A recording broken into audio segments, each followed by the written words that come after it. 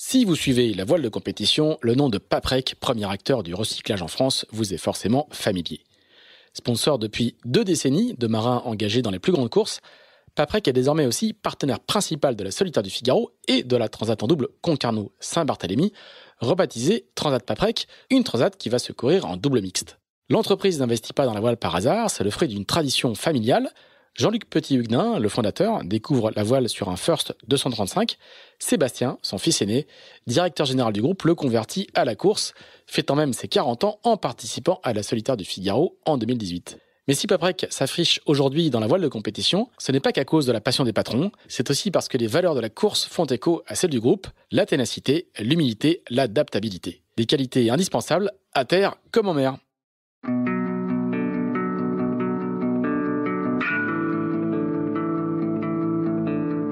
Bonjour, vous écoutez Into the Wind, le podcast des marins qui font des phrases. Into the Wind est produit par Tip Shaft, le média des professionnels et des passionnés de voile de compétition. Tip Shaft, ce sont deux newsletters hebdomadaires en français et en anglais, des podcasts, des événements, des formations ainsi qu'un festival de films et un studio de production de contenu que vous pouvez retrouver sur tipandshaft.com. Je suis Pierre-Yves Lotrou et je vous souhaite la bienvenue dans ce nouvel épisode d'Into the Wind.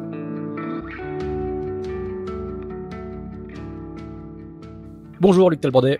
Bonjour Pierre-Yves.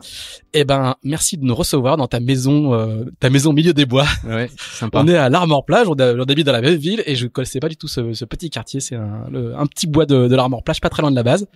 Donc merci de nous recevoir euh, chez toi au milieu de ta, de, ta, de ta clairière. Merci. Et on va parler, euh, on va passer un petit peu de temps ensemble. Et juste avant qu'on que je lance l'enregistrement, je disais que tu avais eu trois vies. Et donc on va explorer ces trois vies-là. Il y en a une que les gens de la voile connaissent, c'est celui de euh, presque une quinzaine d'années de team manager de, de, de l'écurie de, de Jean-Pierre Dick, qui a une nouvelle vie qui est un peu plus récente, mais qui a déjà euh, cette année, qui est celle de, de patron euh, d'Avel Robotics, qui est, le, qui est, qui est, notre voisin immédiat de Tip Shaft. On est, mm. on est vraiment le, bâtiment d'à côté où tu construis entre autres des foils avec des robots. Tu vas nous expliquer ça un petit peu. Et puis il y a une première vie, euh, une vie de, de cadre dans l'industrie pétrolière et dans l'agroalimentaire, si je me trompe pas. Et, et on, on, va explorer tout ça. Donc euh, c'est un format un petit peu différent. On va pas parler que de bateaux et ça va nous faire du bien euh, euh, aussi. on va quand même commencer parce que nous on a The Transat qui commence dans, dans, dans pas très très longtemps, dans une semaine. Voilà exactement. les bateaux, là il fait un temps enfin un temps splendide ici. Et il y avait des IMOCA qui rentraient d'une neuf de nuit pour se, pour se préparer. Soit aujourd'hui, donc tu es le patron d'Avel Robotics. On reviendra sur la création et la, et la, en fin de séquence. mais je voudrais juste que tu, que tu nous expliques un petit peu quand on est un, un fournisseur et de pièces un peu stratégiques comme euh, les foils, puisque c'est beaucoup ça que tu fais, que tu construis aujourd'hui. Comment on vit une course? Est-ce que tu est-ce que tu suis particulièrement les bateaux avec euh, qui ont des foils qui sont équipés euh, par tes soins? Est-ce que est-ce que on tremble quand il y a eu une avarie ou quand t'entends dire qu'il y a une avarie? Est-ce que tu les suis particulièrement? Est-ce que tu as des contacts particuliers avec l'équipe? Voilà, quand on est on équipe qu'une partie du bateau, comment on vit une course en étant fournisseur comme ça? Alors oui, on les suit particulièrement, évidemment, surtout après avoir vécu euh, en tant que euh, responsable team manager d'une équipe pendant 17 ans. Euh, avec Jean-Pierre, on connaît un peu les aléas et donc D'ailleurs, ça fait plaisir parce que c'est un peu une prolongation de la, vie précédente et ça permet vraiment de garder un lien. donc, on le suit particulièrement. On tremble un peu forcément quand il y a des avaries. On se demande ce qui se passe à bord. On a, comment dire, pas de contact particulier. Euh, on attend que s'il y a un souci ou autre, c'est c'est aux équipes d'appeler. Nous, on est là, en, bien sûr, si, si besoin. On, espère ne pas être là, surtout. on espère que tout se passe bien. Et donc, euh, oui, oui, on suit particulièrement, évidemment. On reste euh, compétiteur dans l'âme quand on a géré une équipe, et donc on, souhaite le meilleur pour pour les gens qui nous ont fait confiance. Il y a du, c'est pas du SAV quoi, mais ils peuvent t'appeler en disant, on a détecté l'un de nos capteurs qui bip en permanence à talent parce que les, les feuilles sont équipées de fibre optique avec euh, tout ça et mesurées en permanence. Ils peuvent t'appeler, euh, te dire euh, on a un truc un peu bizarre, est-ce que tu peux regarder de ton côté Non, généralement c'est plus un peu 0 ou 1. C'est soit il y a une grosse avarie et ils regardent pour réparer, voir comment on peut réparer et du coup c'est là où on peut aider ou ou voir si voilà si on peut donner des informations sur la façon dont on a fabriqué le détail, si on peut aider mais au final c'est assez rare parce qu'en fait euh, euh, c'est pas des pièces facilement réparables. Et puis généralement les équipes elles, ont déjà pas mal d'informations, donc on est à disposition. Et heureusement c'est pas c'est pas Heureusement ton téléphone ne sonne plus. Exactement. La nuit, ouais, la nuit c'est le, le, gros point positif d'être passé de team manager à, à responsable d'une entreprise de fabrication, c'est que on est quand même beaucoup moins en alerte. Et pour l'avoir vécu, c'est quand même un grand soulagement euh, de pas être euh, sur le qui vive tout le temps. Euh, voilà, et on se rend compte de la vie qu'on a menée avant quand on en change. sans regret, visiblement. Sans regret. Non, non, non, c'était une très belle période. Et c'est bien, voilà, c'est bien de passer à autre chose et d'en être satisfait. On va y revenir longuement. Est-ce que, par contre, une fois que t'as, une fois que t'as livré ces pièces stratégiques, hein, on, on, le sait aujourd'hui, est-ce que par contre, dans un bateau, tu as beaucoup de retours pour les faire évoluer, ou ça, c'est vraiment le travail des designers, des architectes? C'est plus le travail des équipes. Euh, nous, on aime bien avoir des retours sur les charges qui euh, vont être euh, mises sur les sur les foils, notamment pour suivre, parce que voilà, ça nous intéresse forcément. D'autant plus que nous, on participe aux essais statiques quand on teste le foil après après fabrication, parce qu'on apporte une voilà quelque chose, on en parlera après. Et donc, mais ça reste là aussi le travail, l'information des équipes est libre à elles de nous communiquer ou pas. Euh, certaines nous ont communiqué, on est très intéressés. Euh, euh, où on a des informations euh, sur justement les charges suivant les suivant les, navigations au portant ou, au travers et ça voilà ça forcément nous ça nous permet de réaliser à quoi sont soumis nos foils donc forcément on est intéressé mais là encore ça reste la, à la discrétion des équipes hein, de le faire ou pas c'est et c'est pas frustrant d'être d'être justement de rester aux portes de de l'utilisation et de et de, de pas avoir plus de non parce que en fait, euh, c'était déjà le cas avant, euh, moi, quand j'étais de l'autre côté. Donc, euh, mm. il y a beaucoup de frustrations qui n'existent pas quand on a été euh, soi-même team manager. Donc, il y a, y a plein d'us et coutumes où on n'est pas frustré que ça se passe comme ça parce qu'on on faisait à peu près pareil. Donc, du coup, il n'y a pas de, il y a pas à se dire, oh, bah dis donc, il pourrait nous dire ça et nous donner ça. non. Parce à chaque fois, tu te dis, mais moi, j'étais pareil quand j'étais quand oui, j'étais en place. non, mais c'est simplement c'est naturel parce que voilà, c'est c'est les us et coutumes du milieu et il y a, y a pas de frustration aucune. Euh, voilà. Après, quand ça se fait, on est content, ou on pousse, ou on demande. Et puis, si on a vraiment envie, on demande. Voilà. non, il n'y a aucune frustration. Bon, très bien. On va, on va revenir longuement sur, sur cette partie avec Robotics, mais c'est ta troisième vie. Oui, t'en auras peut-être, je sais pas que si t'en auras, combien t'en auras, mais en tout cas, c'est ta troisième vie.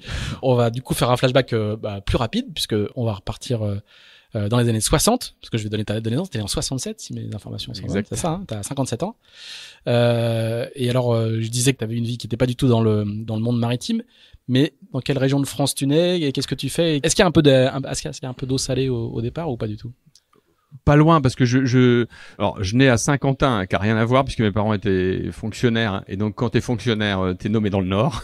Je sais pas si Saint-Quentin dans l'Aisne. Dans l'Aisne oui pas en Yvelines en effet. Donc euh, c'était voilà. Mais ils étaient eux-mêmes bretons euh, d'origine. Mon père est de Lamballe et ma mère est de de Dinan on va dire. Et Costa Armoricain les côtes du Nord de les côtes du Nord à l'époque. Mm. et donc on vit rapidement euh, ils reviennent, ils arrivent à se faire euh, muter. Euh, mon père qui était dans l'équipement et ma mère qui est assistante sociale, ils arrivent à se faire muter à, à Dinan et à retrouver la, la ferme familiale et, à vivre, et à vivre de la ferme familiale dès 73. Et, euh, et donc, euh, moi, je me sens breton parce que euh, la conscience, elle, elle, arrive plutôt quand je suis à Dinan que quand je suis à Saint-Quentin, puisque je dois arriver à 5-6 ans. Et du coup, je me sens breton d'origine, avec des parents bretons et en ayant vécu à Dinan toute mon enfance jusqu'à 18 ans. T'es pas de laine, quoi je suis pas de là.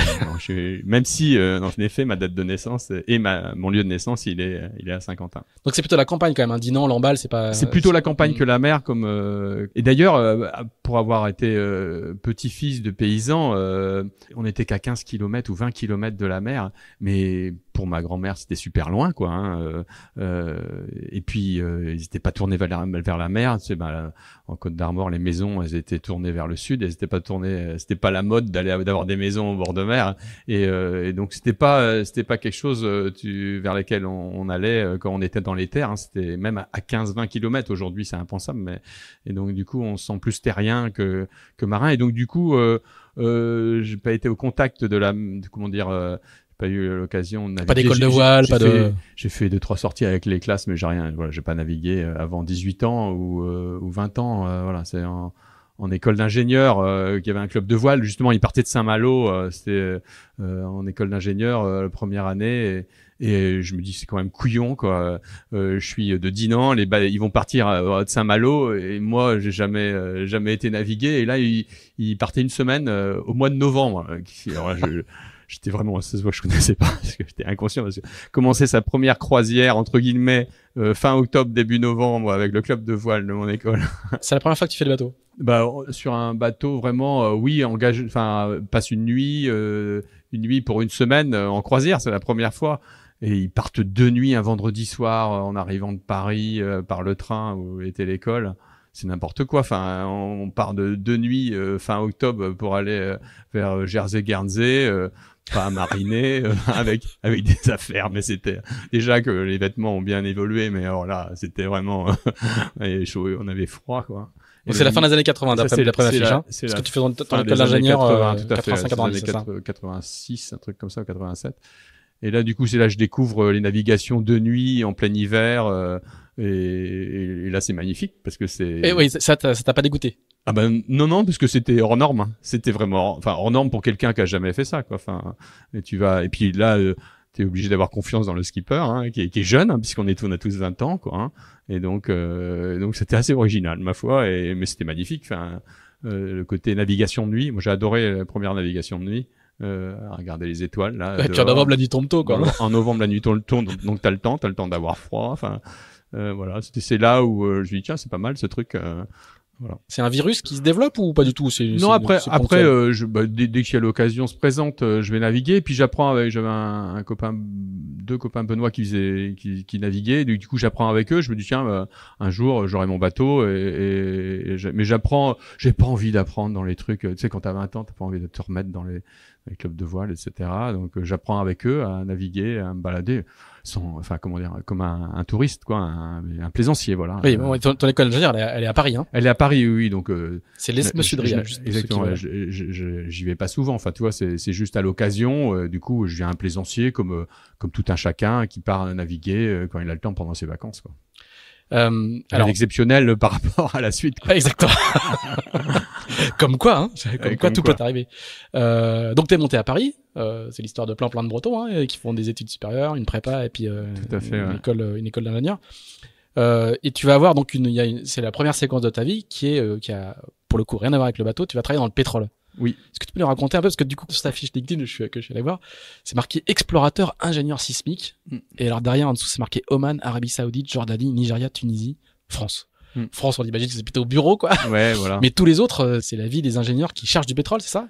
Oui, alors euh, dans les années 90, le pétrole c'était comme une grande activité, quoi. Hein.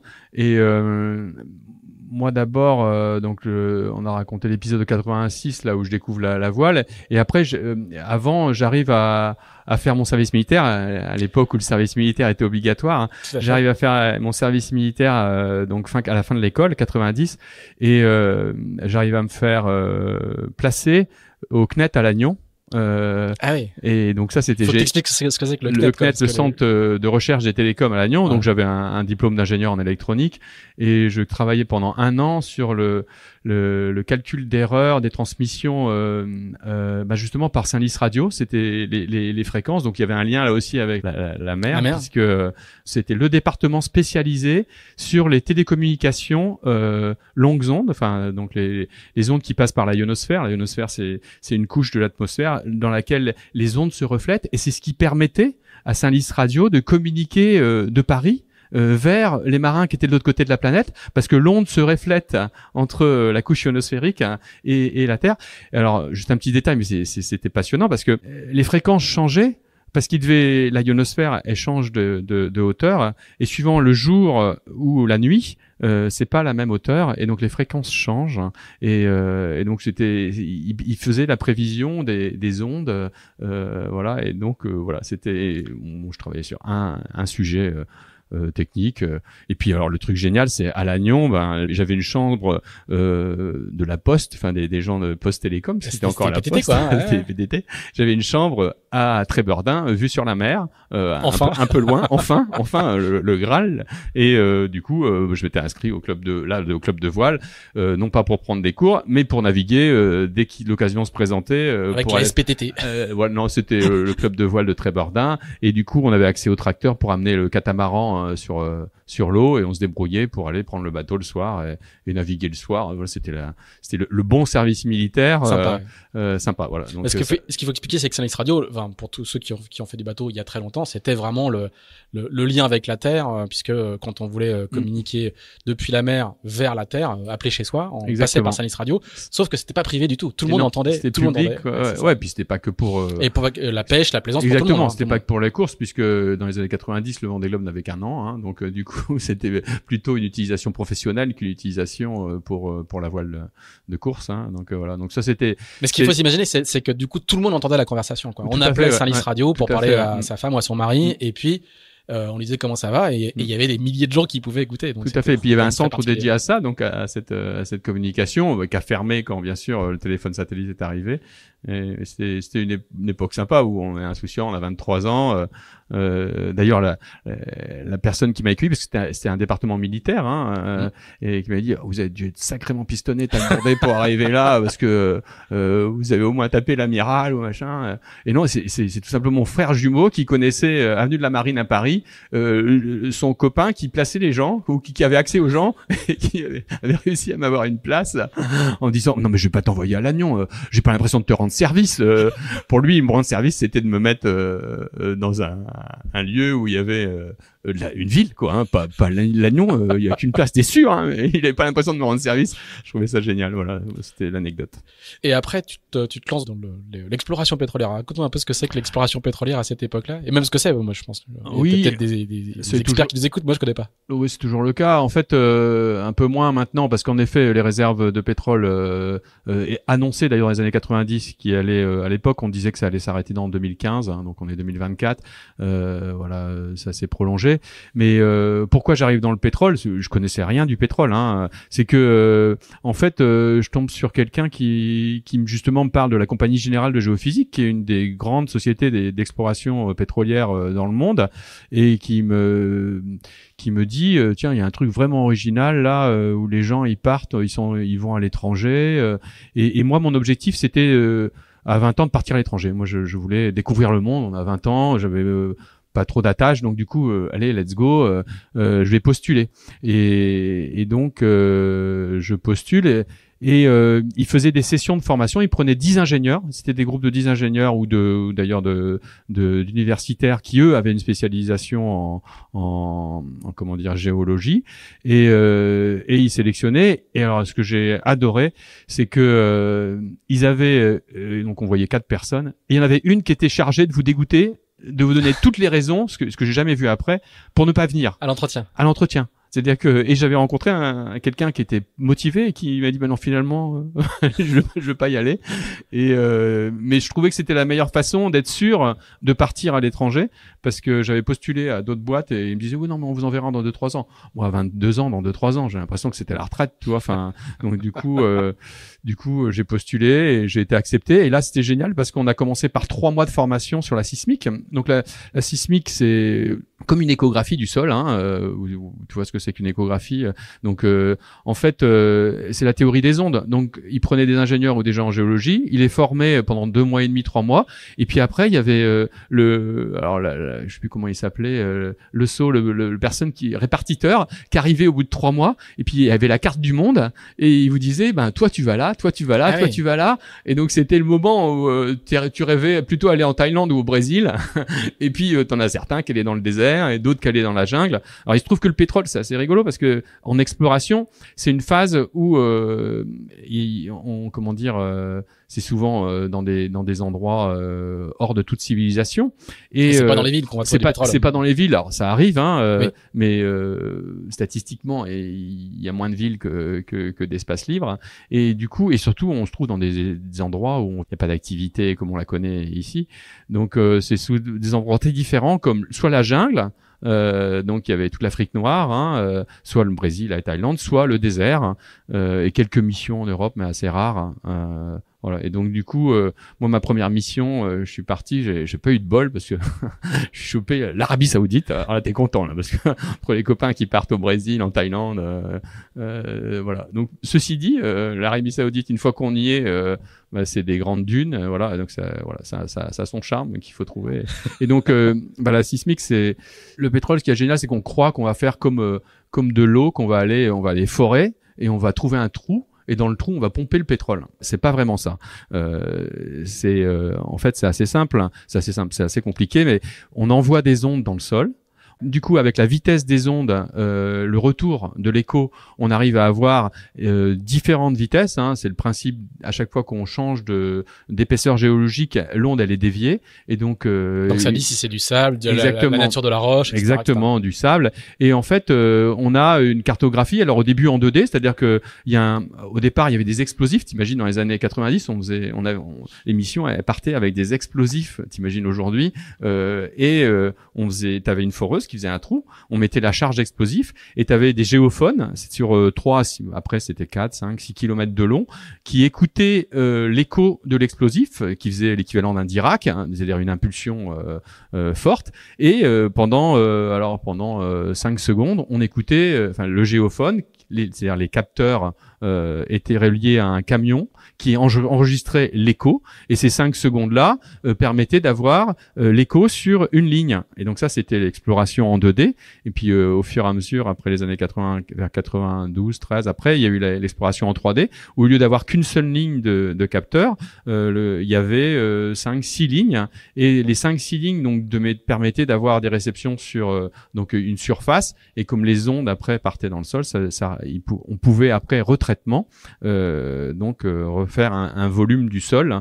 Euh, voilà. Et donc, euh, tu avais cette phase-là d'exploration qui était clé parce que la qualité euh, de la mesure faisait qu'après, on pouvait ce qu'on faisait, c'est qu'on enregistrait, euh, enfin, le camion enregistrait les, ondes, et après, c'était c'était des bandes qu'on envoyait à des centres de retraitement. Il y avait des gros ordinateurs qui, donc, qui eux, une carte quoi, une cartographie quoi, euh, en volume quand c'était en 3D mmh. ou, ou, des cartes en 2D, pour essayer euh, entre les cartes géologiques et les et les vitesses d'onde de retrouver parce que chaque roche a une vitesse propre. Donc, et, donc le, pétrole aussi quoi. Et donc le, le vitesse. Non non. Alors là, je termine parce que ah, j'adore ça, mais les vitesses des roches donne donc juste les roches. Et après, en fait, ce qu'on ce essayait de repérer, c'est enfin ce, que nous on le faisait pas parce que nous on était juste à la partie euh, euh, comment dire euh, de récupérer les données. Et ce que faisaient les interprètes entre les géologues et les, les dans les analyses, c'est qu'ils devaient dire si la, la, structure était un piège à pétrole ou pas. Et, et donc le, le, pétrole, contrairement à ce qu'on croit, et comme je le disais, pas dans une caverne, mais simplement dans des roches poreuses. Et lorsqu'on fore dans une roche poreuse, bah, on fait une dépression et, euh, et euh, du coup, euh, s'il y a de l'huile, ben, ça, ça remplit le trou. Alors, l'Arabie Saoudite, le pétrole, quand on faisait les toilettes, on avait des traces d'huile tellement il y avait de pétrole. Donc, et certains endroits, il sort en pression. Et pour qu'on puisse récupérer le pétrole, il faut qu'il y ait une couche imperméable au-dessus d'une couche euh, d'une couche poreuse de, de roche. Donc euh, soit il y a des dômes de sel dans le sel, le pétrole il peut migrer, et au-dessus il y a une, il y a une couche imperméable. Et quand avec le forage on perce la couche imperméable, eh bien on va mettre son forêt ou le puits comme vous voyez euh, dans les puits de pétrole, mhm. on va mettre donc le, un trou dans la poche poreuse, et, et là le, pétrole migre. Et suivant la forme géologique, il sort sous pression ou pas.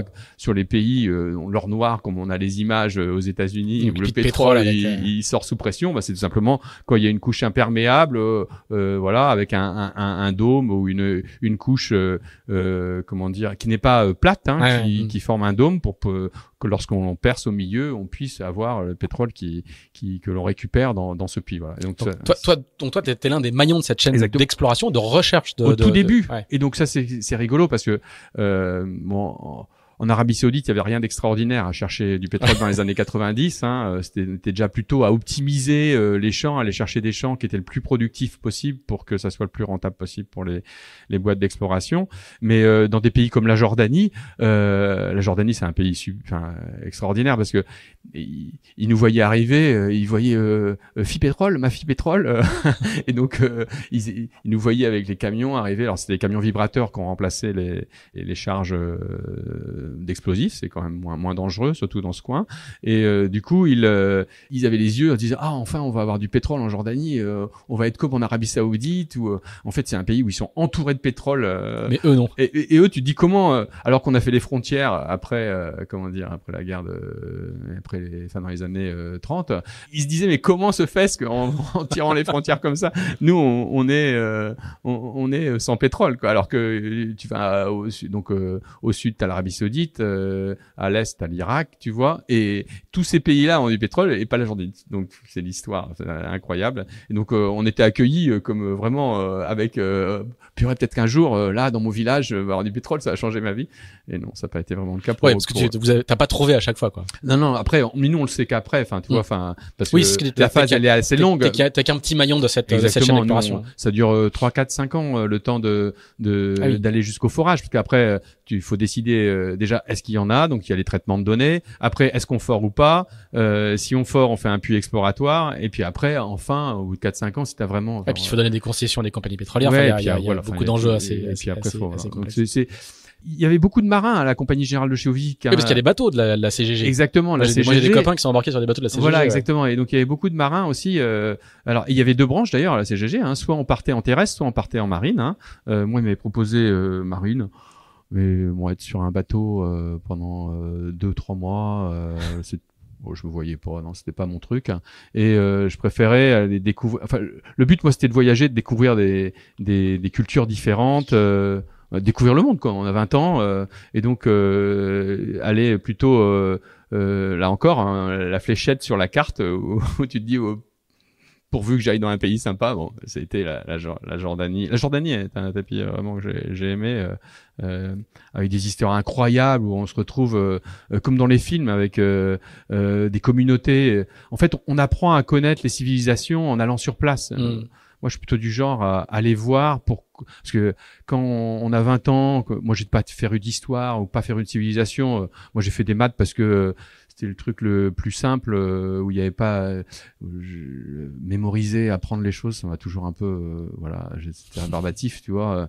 donc les maths c'était facile, enfin c'était facile, c'était plus facile. J'étais pas un grand matheux non plus, mais ça permettait de de sans trop travailler mm. pouvoir tirer un peu une ficelle et, et arriver à résoudre un problème. Donc ta connaissance de l'histoire des civilisations, elle se fait sur le terrain, elle s'est pas dans les livres, exactement. et donc du coup, et là on découvre les civilisations, des tribus différents et on, on doit recruter des, des, gens avec des tribus différents. Euh, euh, et puis euh, dans l'exploration, on avait donc il y avait, on était, en gros, on était 120 personnes à, à, se balader comme des caravanes mobiles euh, avec euh, une trentaine de trailers. Euh, c'était une vie d'aventurier. Quand même. Ouais, ouais, voilà, c'est explorateur. C'est explorateur, hein, donc c'est, c'est, alors explorateur avec tout quand même les, les sécurités qui, qui vont avec, mais si tu veux aller faire un trek dans le désert, ça te coûte cher. là, t'étais payé pour. Moi, c'était ça un peu l'idée. Tant qu'à faire, autant être payé pour aller. Et puis tu te retrouves dans des situations où faut faire. Enfin, tu peux te retrouver tout seul dans, dans une voiture euh, ensablée euh, à quelques dizaines de kilomètres. Euh, il n'y a pas de téléphone, il n'y a pas de comment dire. Si tu es ensablé dans le désert à 30 kilomètres de ton camp de base, ben c'est comme une recherche euh, de quelqu'un qui est en mer. Il n'y avait pas le téléphone satellite. Il n'y avait pas le téléphone. il y en avait, mais, mais vous en avez Bah oui, il y en avait. Alors, mais si si, il y en avait. C'était le début où euh, je me rappelle, on, on, on basculait l'antenne qui faisait bip bip bip bip et quand le signal augmentait, bip bip bip bip. Mais on a, à la gogno quoi. Ah, ouais, c'était tellement cher que du coup on n'avait pas le droit d'appeler. Tu sais, t'envoyais une carte euh, postale, t'avais la réponse trois semaines après, t'avais tas d'histoires avec les gens. Enfin bref, je te passe les histoires personnelles des gens. tu découvres la vie aussi les gens qui te racontent qu'ils sont rentrés chez eux, que leur femme était plus là, et c'était parti deux mois et demi, ça faisait des années qu'ils faisaient ça. Enfin bref, tu... c'est une vie de marin en vrai. Temps, un peu déniaisé sur la vie mm. euh, en partant comme ça. Euh, c'est assez sympa. Et puis surtout, tu as un même état d'esprit, tu vois, qu'à les esprits de, de, de marins, si tu veux. Quand aujourd'hui tu rencontres quelqu'un qui a fait la CGG, tu vois, Tu dis ah t'as bossé à la CGG, t'étais dans quel pays, toi, et, et voilà, tu, tu sais que tu partages quelque chose. Et cette période-là, donc elle va elle va durer, euh, elle dure jusqu'à quasiment jusqu'à la fin des années 90, enfin pas loin quoi. Et, et, 80, elle dure 5 ans en fait. 91 97. 80, ouais, pour faire simple, parce que en fait j'ai j'ai j'ai appris euh, les études en 96 euh, à HEC là en faisant un MBA, parce que justement, en fait au début tu le fais pour la liberté, mm. tu vas te balader et, puis tu t'aperçois qu'il y a des gens qui ont des enfants et, et ce qui était un, plaisir et un, une soif de découvrir le monde, après ben tu gagnes relativement bien ta vie, surtout parce que tu dépenses pas en fait, parce que moi j'étais quand même à la caisse des SDF quoi, hein, euh, euh des sans domicile fixe, sans domicile fixe pendant pendant ces années-là, euh, alors qui n'a rien à voir avec le, la notion de sans domicile fixe, mm. sans domicile fixe. Euh, t'es expatrié sans, sans... T'es expatrié mais t'as pas de lieu fixe quoi, tu vois. Enfin et donc au début tu le fais pour euh, pour la liberté et puis tu t'aperçois que peu à peu euh, bien c'est une contrainte, euh, t'as as pris l'habitude de gagner de l'argent et tu fais vivre ta famille et tu te dis mais euh, si je veux revenir en France avec ce savoir qui est quand même un peu spécifique, donc soit tu grimpes dans la hiérarchie et tu passes de ingénieur terrain euh, à euh, comment dire à un centre à la capitale et, après tu viens avec la vie d'expat. Et moi, j'avais pas envie de la vie d'expat parce qu'au début, tu te fais pour la liberté. Tu te retrouves dans les capitales, par exemple à Amman. Ben, la vie d'expat, c'est tu te retrouvais entre expats tu vois, alors qu'au moins sur le terrain, dans le désert, tu étais avec des gens, euh, enfin, de toute nationalité. Mmh. Sur 120 personnes, tu avais 20 expats à peu près, euh, nationalités différentes, et tu avais euh, bah, les locaux. Enfin, l'esclavagisme n'était pas aboli, hein, contraire, enfin, officiellement oui, mais la réalité euh, non, hein, parce que euh, en Arabie Saoudite, c'est pas c'est pas les Saoudiens qui, qui, qui allaient dans le désert sous 40 degrés euh, poser le, le géophone dans le sable, l'enterrer sur des kilomètres. Hein, c'est c'est des des, des, Pakistanais essentiellement euh, qu'ils importaient, qui, qui eux venaient là euh, 11 mois, enfin 11 mois sans retourner chez eux, enfin bref, sans faire de, c'était, c'était voilà, tu, tu, découvres le monde quoi, tu découvres le monde, euh, euh, voilà. Et alors tu vas revenir à Paris pour faire un billet, mais, mais est-ce que pendant ces périodes-là, il y a, y a, encore un peu de, de, contact avec le monde euh, maritime ou c'est c'est quand j'ai l'occasion, mais là aussi voilà. Euh, comme plaisancier ouais, l'été en partant avec des copains. C'est encore très très long. naviguer, voilà. mon désert était mon, mon lieu de mer quoi. Alors, tu vas faire un MBA HEC en 95-96 Oui, tout à fait. Ouais. Donc ça, c'est assez, assez chic. Hein, euh, le oui. Le MBA d'HEC est quand même assez... Est-ce que c'est là que tu rencontres Jean-Pierre? Oui, voilà. voilà. Et donc, en fait... Euh... Donc ça, c'est... Euh, pour ceux qui connaissent pas, c'est euh, une des... des... C'est un troisième cycle. C'est un troisième cycle, mais après un début de carrière. Enfin, certains le font euh, très très tôt, mais à l'époque, ça se fait plutôt euh, en, après euh, 5 à 10 ans de carrière oui. euh, pour progresser et, et grimper dans la hiérarchie des boîtes et plutôt des grosses boîtes. Euh, et du coup, bah, c'est une année où tu fais que ça Oui, tout à fait. En fait, euh, euh, justement pour sortir de ce un peu, si tu restes dans le pétrole 5-10 ans, après, tu as du mal à sortir du pétrole. Mmh. Donc du coup, au bout de 5 ans, je me suis dit, euh, là, faut que je fasse quelque chose. Et puis postuler dans les années 95, il y a eu une grosse crise en 92-93 là où il n'y avait pas de boulot, hein, et donc les ingénieurs trouvaient pas de boulot. Et donc c'était bien de, je trouvais de d'aller faire le MBA qui est qui est une super formation et qui, qui moi qui m'a ouvert les l'esprit de façon incroyable euh, euh, parce que en Jordanie, euh, j'étais devenu chef de mission où tu, tu dois gérer une équipe et faire un peu de compta, etc. Toutes des choses que j'avais pas fait en, dans l'école d'ingé. Donc autant la théorie du signal et la partie euh, ça, ça, euh, ça, ça, ça, ça, allait. Autant la partie gestion, euh, ben je découvrais et je me dis tiens euh, le marketing, je sais pas ce que c'était. au moins connaître qu'est-ce qu'on mettait derrière les mots. Quoi, hein. Et donc du coup, je me suis dit tiens, ce serait bien quand même que j'allais faire ça. Et donc voilà, j'ai eu la, la chance entre guillemets. il a fallu bosser un peu pour être admis quoi. Et puis, euh, euh, j'ai été admis. Et à l'époque, ils avaient, euh, je rappelle, ils s'étaient un peu moqués de moi parce qu'ils avaient un oral et, et, suivant le candidat, ils choisissaient le sujet. Et le sujet qu'ils m'avaient donné, c'était euh, euh, vous êtes un producteur de moules à Saint-Malo. Euh, pour tester euh, si j'étais créatif, parce que les ingénieurs n'étaient pas forcément créatifs. Euh, vous êtes euh, euh donc producteur de moules à Saint-Malo. Vous devez développer la vente de moules. Présentez-moi votre plan marketing pour pour développer la vente des moules, etc. Et, et, et après, j'ai su que ma copie avait fait le tour du lieu parce que j'avais fait un dessin d'un jouet qu'il fallait inventer. Ah non, du bigorneau, du, de, de, de moule ou de bigorneau. Et donc, j'ai fait un dessin avec le, le, bigorneau qui se mettait dans un jouet. Bref. Et voilà, je sais pas si c'est grâce à cette copie, mais euh, je, je, trouve que je, je, suis admis et pendant un an, un an et demi, c'est un brassage là aussi de, de gens qui viennent de, de tout horizon, pas que des ingénieurs, il y a de tout. Et en fait, on apprend autant des cours. Bon, alors on a la chance, je sais, d'avoir des, des profs de haut niveau, euh, mais aussi des, des autres élèves euh, où on, moi j'ai plus appris à savoir ce que c'était qu'un commercial euh, en travaillant dans un dans des groupes de travail, c'est le principe des, des, groupes de travail, que que sur les cours de commerce. Quoi, voilà. Donc non, c'était une super super ouverture d'esprit. Et donc c'est là que je rencontre, euh, pour retomber sur nos pieds, euh, Jean-Pierre. Jean-Pierre Dick. Euh, en fait, euh, bah là, euh, il y a Jean-Pierre qui, lui, vient de Virbac, qui a travaillé chez Virbac pendant 5 ans. Et qui... Donc il a la boîte familiale. Hein, qui a la boîte et, et, lui, il est veto. Donc lui, il, est, il est un peu comme toi. Il a pas, il a pas connaissance de la gestion, etc. Et donc il vient il vient un peu se préparer à, la, à, à, rentrer dans la boîte et à grimper dedans et à la reprendre plus tard avec ce, avec ce MBA. Alors lui, il fait déjà du bateau. Lui, il fait déjà du bateau, euh, puisqu'il a, il avait gagné le tour avec Jimmy en 92-93. Et puis, euh, ben, il, il, veut, voilà, il se dit, oh, voilà, tant qu'à passer une, un an, un peu plus d'un an là, ici, euh, il y a, il y a l'été, donc c'était de septembre à fin décembre, ça dure un an et quelques mois. Et donc, il y avait l'été où il y avait le Tour de France à la voile, hein, qui était quand même le grand euh, lieu pour euh, de pour brasser entre les amateurs et les gens plus euh, plus comment dire compétents. Et il dit bon, bon on va faire euh, une euh, un projet Tour de France à la voile classement et on va viser classement étudiant quoi. Et et du coup bah au début sur la promo de 120 il y, en a 20 30 qui sont partants. Et puis forcément dès que ça se tend pour trouver des sponsors à la fin on se retrouve que deux Jean-Pierre et moi. Jean-Pierre qui était motivé comme pas un parce qu'il avait déjà fait et puis moi aussi. Et en fait, quand fallait chercher des sponsors et, et, et, voir qui était vraiment à, à, passer du temps, parce que c'est pas juste lever le doigt et se dire moi j'embarque, mais c'est euh, euh, monter le projet, euh, aller s'entraîner, etc. Et toi, t'avais jamais fait de course? Moi, j'avais la, la, partie maritime, tu la tu la connaissais en tant que licencié, mais t'avais jamais fait de course. Non, jamais fait de Et qu'est-ce qui t'intéressait dans, dans ce dans ce projet-là? Bon, moi, ce qui m'intéressait, c'était de naviguer d'aller côtoyer ce monde. Euh, et puis voilà. Euh, et puis je trouvais que c'était sympa d'aller passer l'été à, à, à, naviguer, si tu veux. Euh, le Tour de France à voile, c'est une super idée. Merci Jean-Pierre. Euh, enfin, allons-y. Et puis alors là, trouver les sponsors. On s'était allié avec Pierre-Yves.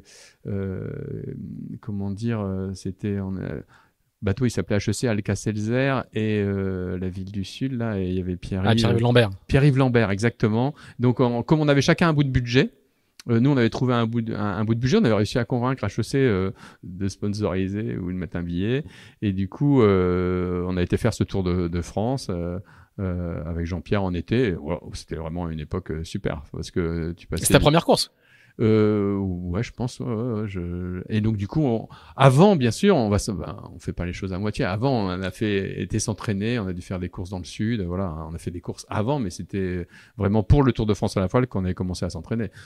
Moi, je suis pas un grand marin parce que Jean-Pierre, il explique à tout le monde comment faire. Tu vois, une banque d'étudiants, il n'y a pas que des gens qui naviguent. Lui, il avait déjà navigué à bon niveau voilà bon c'était enfin voilà c'était pas les pieds ni mais c'était c'était pas le, haut niveau quoi tu vois bon il se trouve qu'on visait la gaille on a été pas mal euh, devant on finit finalement deuxième derrière Cherbourg euh, de mémoire.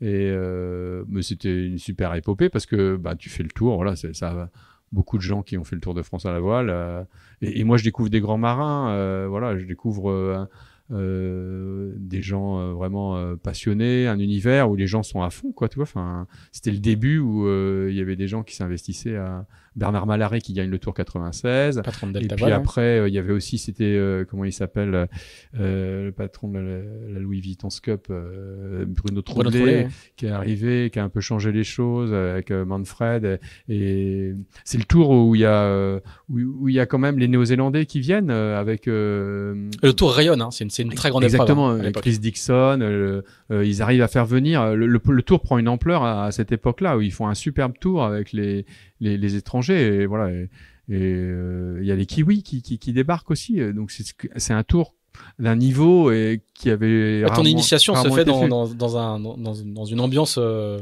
haut de gamme exactement et tout à fait alors que moi je suis euh, enfin, j'ai jamais été un, un, bon un bon marin et, j'ai eu l'avantage de, de m'en apercevoir rapidement. C'est assez facile. Et donc du coup euh, euh par contre j'ai une vraie admiration pour on voit qu'il y a un niveau de professionnalisme qui se dégage déjà de ces équipages de ces équipes. Et voilà. Donc c'est vraiment une, une époque sympa. Et raconte-nous la rencontre avec Jean-Pierre Dick quand même, parce que euh, tout, on sait que c'est un personnage. Je vous, je vous, recommande le podcast qu'on a enregistré euh, avec lui. Mais raconte-nous la, la, la, rencontre euh, humaine avec avec, avec ce, ce, assez ce personnage qui est un, un, personnage assez fort quand même. Ouais ouais, c'est assez simple. C'est en fait au tout début. parce que vous êtes euh, ça fait bizarre de ça, mais vous êtes copains. Enfin, c'est une amitié. Ah, c'est une amitié d'étudiants MBA. Exactement. C'est pas, pas une alliance professionnelle, c'est pas un recrutement, c'est pas une. On n'est pas dans un cadre de. On n'est pas encore dans un cadre de team. Non, non, non. Jean-Pierre, c'est un ami. Rencontre humaine, quoi. Voilà. C'est un ami. Euh, moi, je le rencontre. Euh, il se trouve qu'on discute dès la, la, rentrée où les gens se rencontrent. Tu vois, t'es 120, donc t'es pas forcément obligé de discuter avec une des personnes. Il s'appelle Jean-Pierre et euh, Jean-Pierre est discret et puis on discute euh, et puis ce projet euh, voile il fait qu'on se rapproche puisque en fait euh, il se trouve qu'on était les deux plus motivés par le sujet et donc bien à force faire les choses ensemble c'est comme ça que tu connais les gens quoi hein. donc euh, c'est le fait d'avoir euh, partagé un projet euh, qui est parti assez tôt dans l'année janvier pour juillet pour juillet quoi hein, qui fait que tu, tu navigues donc si tu navigues ben tu tu vas le week-end tu te déplaces et, et Jean-Pierre est devenu un ami et puis c'est plus pour le plaisir, quoi. Et d'ailleurs, à la fin du tour, je lui dis, euh, Jean-Pierre, euh, si tu veux vraiment gagner, faut pas embarquer des mecs comme moi, quoi. Tu vois, enfin, faut être euh, réaliste, tu vois. Enfin, ce qu'il fera après, hein, puisqu'il regagnera le tour après, euh, en embarquant cette fois-ci des, des, vrais professionnels et on en n'étant pas, en visant pas le classement amateur. moi, j'étais à ma place dans le classement amateur. Et tout de suite, dans votre duo, la, la, la répartition des rôles se fait comme ça. Toi, à l'organisation, euh, à la structuration, à la, à la, gestion, et lui plutôt, euh, plutôt bah, je, sportif ou pas encore? Uh. Bah, plus en effet. Euh, de fait, je, je, je, tire moi-même des conclusions de ce que tu racontes. Quoi. Vu mes compétences. Mais ceci dit, euh, Jean-Pierre, il, il, se donnait. Hein, il a, il a toujours cherché des sponsors. Mm. Euh, il a, il, il, a fait comme tout le monde, contrairement à ce que pensent les gens. Euh, on se fait toujours des idées sur les gens avant de, de, de savoir, euh, de vivre avec eux, quoi. Hein. Et Jean-Pierre, il a toujours cherché des sponsors. Il a eu plein de petits, plein de sponsors, hein, même quand il gagne le Tour après dans les années 2000. Il a plein de petits sponsors et, et on était deux à chercher, mais Jean-Pierre aussi euh, donnait son, donnait sa, donnait sa part hein, de ce côté-là. Hein. Il a toujours mené ses projets. Hein. Moi, euh, j'arrivais avec lui et j'avais plus à apprendre de lui euh, que lui de moi. Hein. Voilà. Donc sur ce côté-là, il est, et puis sur le côté marin, forcément, j'avais plus à apprendre de lui. Alors, vous n'allez pas encore, vous allez pas encore vous associer dans, dans, dans l'écurie. Ça, ça va venir un peu plus tard. Et t'as as encore une, une partie de ta carrière euh, normal, j'allais dire normal, avec plein avec plein de guillemets. Mais Jean-Pierre aussi. Hein. Euh, mais Jean-Pierre aussi, ouais. Euh, et donc là, tu vas tu vas basculer dans le dans, dans l'agroalimentaire, c'est bien ça? Oui, alors en fait. quand je termine à, le MBA d'HEC, il faut trouver un boulot, si tu veux. Alors ça paraît simple, hein, mais je suis plus appelé par des boîtes du pétrole que par des boîtes euh, de, de je sais pas quel domaine parce que quand tu travailles dans le pétrole et que tu veux retravailler en France, euh, moi je voulais pas aller travailler dans les data centers euh, à, à processer les données qui venaient du, du, désert ou de la jungle bon, euh, rester dans un bureau à, à faire des calculs, voilà, c'était pas trop mon truc. Et donc du coup, c'était un vrai sujet. Euh, qu'est-ce que je vais faire après, quoi euh, tu, parles euh, ça, la première vie, elle a eu deux périodes, la période à la CGG et la période après à HEC où il fallait retrouver un boulot. Et là, euh, bah, c'était c'était pas gagné. J'avais une offre de Schlumberger pour partir au Venezuela. C'est le pétrole encore. Hein. C'était le pétrole encore, super payé, mais c'était pour c'était pour repartir dans ce système où euh, t'es expat quoi. Et la vie d'expat, elle me faisait, enfin l'expat dans ces pays avec la différence de niveau de vie qui était très fort, ça me faisait pas envie parce que tu vivis pas avec euh, dans le pays où tu es, enfin avec les gens vraiment, enfin. Et donc du coup, euh, il se trouve que je, il y avait des recrutements ou des, des, des boîtes qui venaient. Et, et il y a un, ancien HEC, Guy Bayeul, qui, qui vient euh, recruter euh, des gens pour euh, une, une, boîte dans la distribution de bonbons, si tu veux, j'appelle ça comme ça. Et, et il cherche un assistant de direction d'une boîte de 900 personnes pour... Euro EDA, Euro Distribution Alimentaire, parce qu'on mettait Euro dans le nom des boîtes à cette époque, dès, dès qu'on redonnait un nom. Et du coup, alors, bon, moi je dis, tiens, bah, je, vais, je vais aller dans ce secteur, parce que mon ambition c'était, euh, après avoir géré une mission, euh, bah, d'acquérir les connaissances de gestion pour, pour gérer une boîte. Mon ambition, c'était de gérer une boîte. Donc du coup, euh, c'était, il y avait des centres de distribution et mon ambition, c'était d'être responsable d'un centre de profit. Et donc, il se trouve qu'il y a cette opportunité-là. et je, je, suis embauché en tant qu'assistant de direction, euh, directeur des achats, puis après euh, je vais dans un centre à Partenay euh, gérer dans un, les Deux-Sèvres. dans les Deux-Sèvres, un centre de distribution. Tout monde rêve d'aller à Partenay, hein, évidemment. Et donc du coup, euh, euh, voilà, c'est une période assez particulière, mais j'atteignais l'objectif qui était de, de gérer une boîte. Et là, ben, j'allais naviguer. euh, Là, j'avais euh, j'avais acquis un, un Gypsy Plus parce que j'ai- je, je commençais à travailler, donc euh, euh, que j'avais mis à Dinard. Et là, j'allais naviguer, naviguer dès que je pouvais euh, le week-end euh, avec le, le bateau euh, qui était basé à Dinard. Donc, je faisais partenais Dinard euh, le week-end et naviguer. Voilà. Enfin, sans aucune ambition de course parce que j'avais bien compris dès 96 que c'était pas là mon avenir.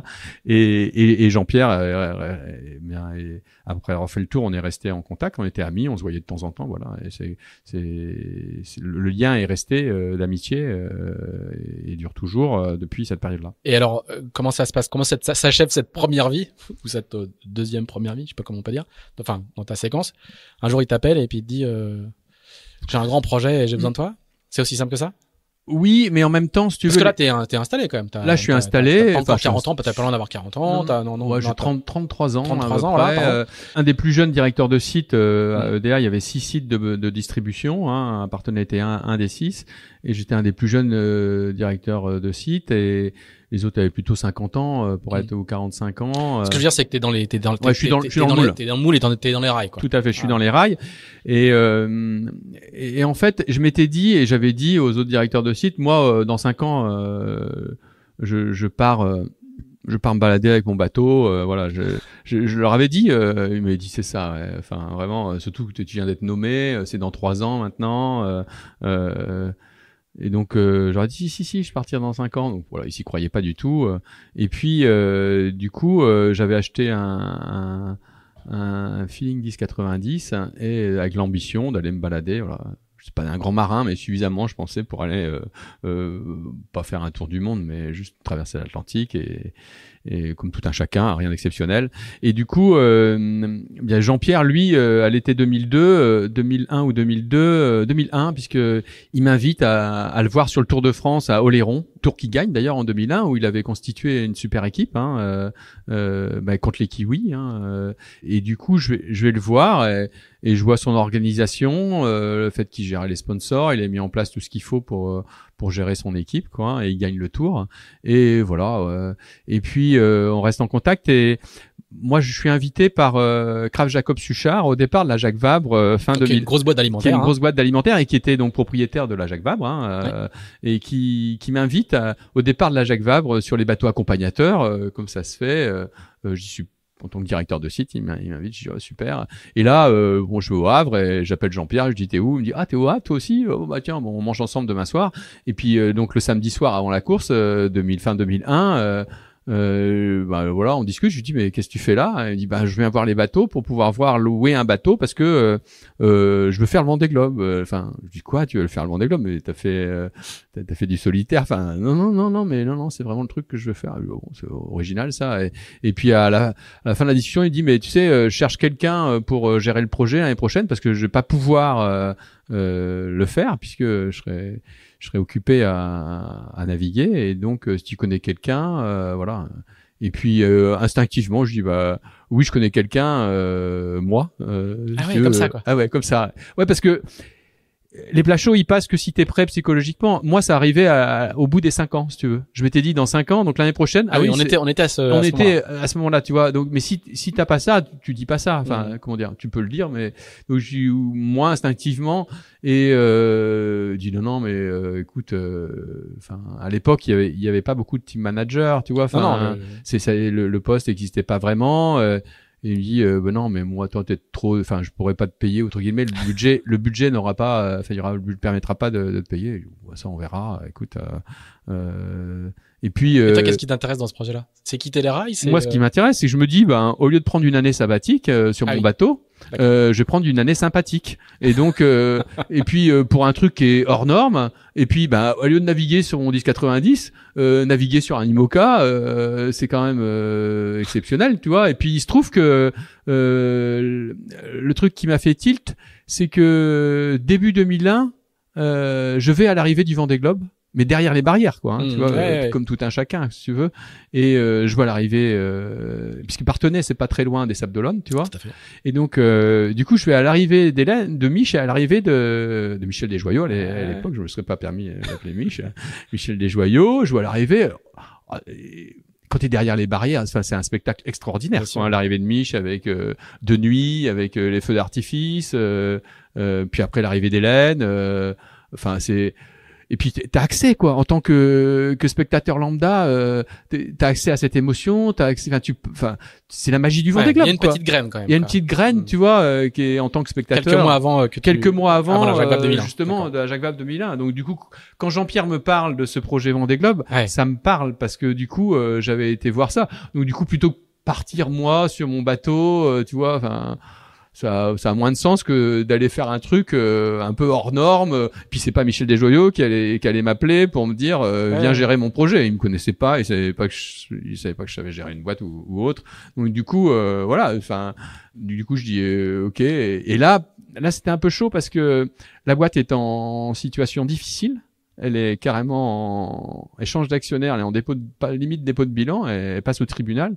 Et moi, en tant que directeur de site, je vais défendre euh, la chose au tribunal pour faire que l'activité continue. Et je dis à Jean-Pierre là, elle est, va pas être tout de suite parce que euh, bah, je me sentais pas euh, quitter le navire alors qu'il y a quand même 120 salariés à Partenay, il y a une boîte de 900 personnes, tu vois, il y a l'emploi en jeu tu, tu, tu fais pas ça youpla boum euh, en laissant euh, tomber les gens euh, je me baladais au moment où ça se passe mal quoi. Et donc euh, la reprise heureusement il y y a un repreneur la, la reprise se passe euh, correctement.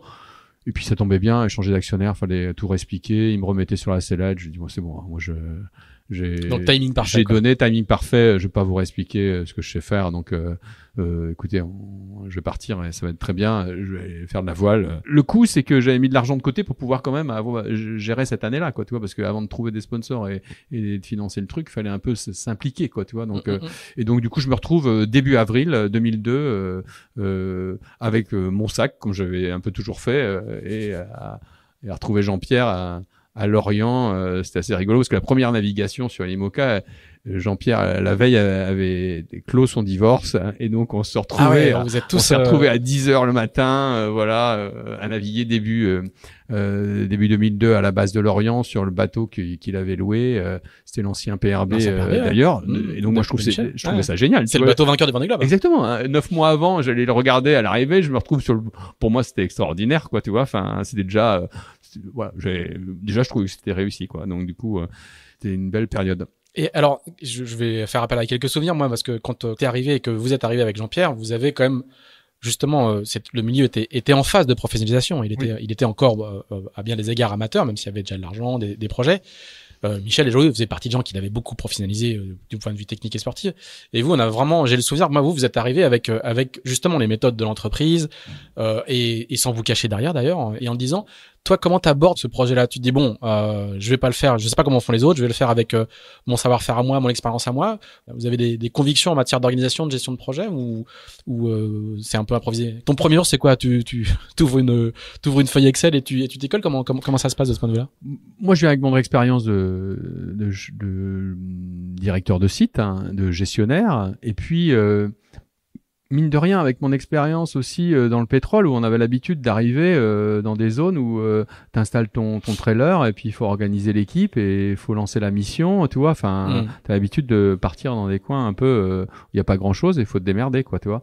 Et là, c'était un peu pareil, sauf que c'était quand même plus facile. Hein, c'est plus facile euh, à Lorient que. Alors Lorient n'est pas du tout comme comme ça l'est aujourd'hui. Non, non, non, Hein, à Lorient, y a- alors- y a rien. hein. C'est grâce à, à Alain parce que Alain Gauthier euh, qui euh, où Jean-Pierre euh, avait regardé où est-ce qu'on pouvait aller et puis euh, du coup euh, Lorient avait l'avantage euh, d'être un des rares ports où on pouvait sortir à toute heure euh, de la journée avec un 4 mètres 50 de tirant d'eau et donc du coup euh, on s'installe euh, du coup euh, à Lorient euh, et euh, et après bon, moi je me pose pas de questions le but c'est de trouver des sponsors ça c'est mon rôle c'est de trouver des sponsors et de gérer l'équipe Mm. et donc du coup euh, de gérer tout ce qui va autour euh, et puis ça se fait euh, au fur et à mesure. T'as du temps, hein, donc du coup euh, il faut Ouais, parce que trouver- le Vendée Globe est, en, est, est deux ans, et plus de deux ans plus tard. Et plus que ça, parce que C'était 2002, en- c'est en 2004. 2002, c'est 2000, fin 2004, Deux ans- ouais, deux ans et trois demi, ans, quoi. trois ans de navigation, hein, puisque si on est début 2002, trois saisons de navigation, on va dire. On est- Jean-Pierre avait embauché un technicien. Euh, d'ailleurs qui au moment de commencer, on a dû en prendre un autre, parce qu'il y avait déjà euh, la recherche des, des bons préparateurs. Hein. et on retrouve euh, donc fin de l'année, on embauche Jean-Yves Gaulle, hein, qui était qui était de la partie. Et, donc, ben, on se retrouve juste à, à, commencer à gérer une équipe. Et moi, je me pose pas de questions. C'est voilà, c'est c'est une équipe à gérer, c'est une mini entreprise. Faut aller chercher des sponsors, faut aller faire un, un book pour aller pour aller vendre la sauce. Et en fait, je réalise pas que c'est un, enfin, je veux dire, c'est la fameuse phrase, je, je réalise pas que c'est impossible parce que Jean-Pierre, il a gagné certes le Tour de France à la voile, mais il a jamais navigué en solitaire, il a pas fait le Figaro, il a pas fait, euh, euh donc. Il est pas du Sérail. Il est pas du Sérail. Euh, et toi non plus, du coup? Et, et moi non plus. Euh, Qu'est-ce que je vais, puis, euh, je me suis dit, euh, bon, bah, écoute. Et tu le sens ça tout de suite? Ah oui, oui, bon, je suis pas, comment dire, On te le fait sentir? Oui, oui, parce que si tu veux, déjà les gens sont moqueurs de Jean-Pierre quoi hein, euh, parce que ils y croient pas deux minutes enfin c'est la réalité. C'est la réalité de comment dire de la perception euh, parce que justement il a pas euh, le comment dire le parcours classique même s'il a gagné le, le, tour. en 2001 il, comment dire on vend la suite de, de, de ce programme.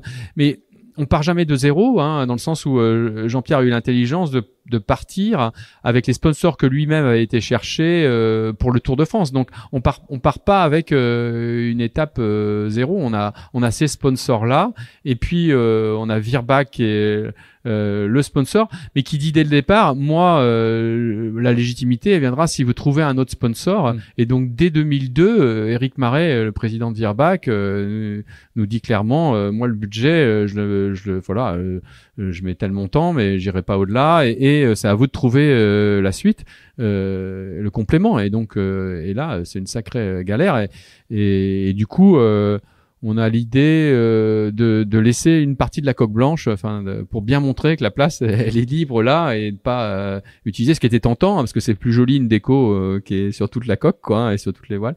Et donc on, on commence comme ça et ben, s'ensuit le dur apprentissage de la recherche de sponsors, comment dire où j'avais jamais fait ça. Hein. Donc, trouver les contacts. T'as beau te dire, j'ai fait HEC, j'ai, j'ai, je vais accéder à des contacts t'envoies des emails, machin, personne qui te répond. Enfin, là, là, là, tu rentres dans le dur, quoi. Hein. Euh, vraiment, euh, tu, tu apprends euh, la dure. Déjà, la première joie, ça a été de le premier entretien, ça a été de négocier avec Aigle le fait que on n'avait pas que des cirés, mais on a aussi un, budget parce que Aigle était un, sponsor sur plusieurs équipes à l'époque, et on a le patron de Aigle qui était vraiment quelqu'un de très bien, Yves Mouriès, qui, qui je fais mon premier entretien avec Jean-Pierre de négociation de sponsoring, c'était à Paris, et, euh, et du coup, euh, à un moment, je dis, bah, on, on, va, on va, on va pas payer euh, la castillage avec des cirés, quoi. À un moment, il va falloir avoir un budget, quoi. Donc, du coup, du coup, euh... que, enfin, les équipementiers, il y a quelques équipementiers qui payent, qui mettent du cash dans les, dans les projets marins, mais, mais, mais euh, c'est relativement récent. Ah, ouais, et à l'époque, c'est pas du tout le cas. Enfin, non, non, c'est pas le cas. Les budgets sont pas élevés, hein. Mm.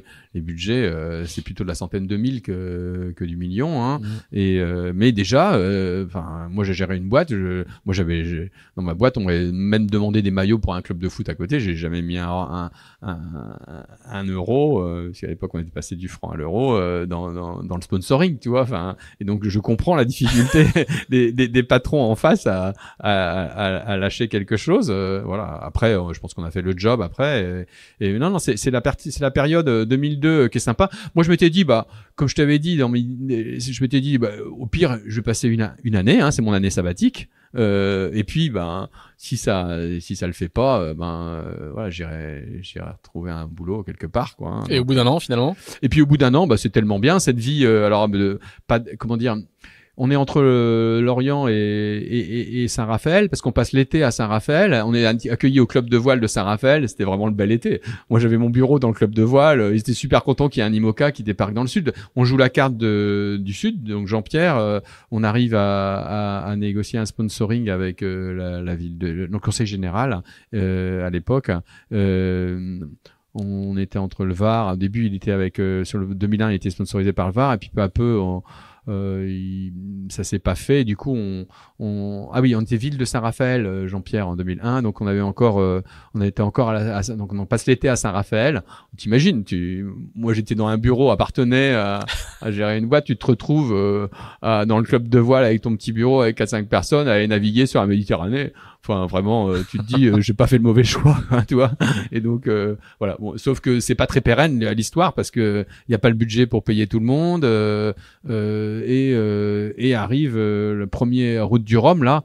Là, c'est chaud quand même parce que c'est le grand bain. C'est le grand bain, exactement. ouais. Donc là, c'est sympa. C'est le bisutage, quoi. C'est le bisutage. Ouais. Moi, le truc qui est génial, c'est que je me retrouve. Du... Là, cette année 2002, on vit vraiment avec des sacs, quoi. Hein. On n'a pas, on n'est pas encore installé à Lorient. Euh, on, on, est entre, euh, on a les sacs dans la voiture, on, se déplace. À l'époque, il y avait des l'été, euh, les premières navigations, c'était en équipage parce que à l'Imoca, il y avait des un peu dans la comme dans les Ormas, il y avait les, les courses. Euh, il y, a, y, y, a, pas tant de bateaux que ça. Hein. Il y a que 5-6 bateaux euh, mm-hmm. avec Bilou.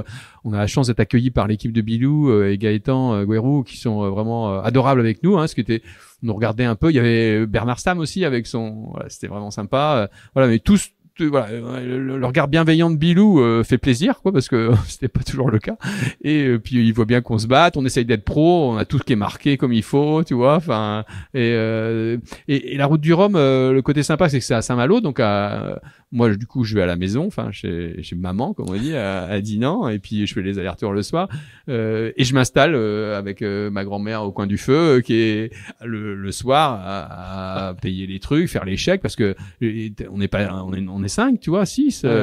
et moi, je fais la compta, je fais tout, je fais les chèques, j'envoie, enfin, enfin, tu fais tout de A à Z, quoi. Hein, et bon, c'est le, c'est, le côté sympa moi j'avais rêvé de la route du Rhum parce que en 78 j'avais été voir le départ hein, avec euh, avec mon père et c'était euh, euh, avec ma mère plutôt mon père était sur l'eau et, du coup là aussi c'est un peu comme le Vendée Globe 2001 c'est cette comment dire c'est ce rêve qui est on sait pas que c'est là et puis ça ça donne envie mais bon ça se passe pas bien parce que Jean-Pierre démat tu vois sur le PRB euh, il se blesse le, le coude, le, pas le coude, le pouce, pardon. Euh, heureusement, il abandonne parce que je crois qu'il y a une grosse infection. Euh, il, s'arrête euh, à la corogne. voilà, faut qu'il faut rapatrier.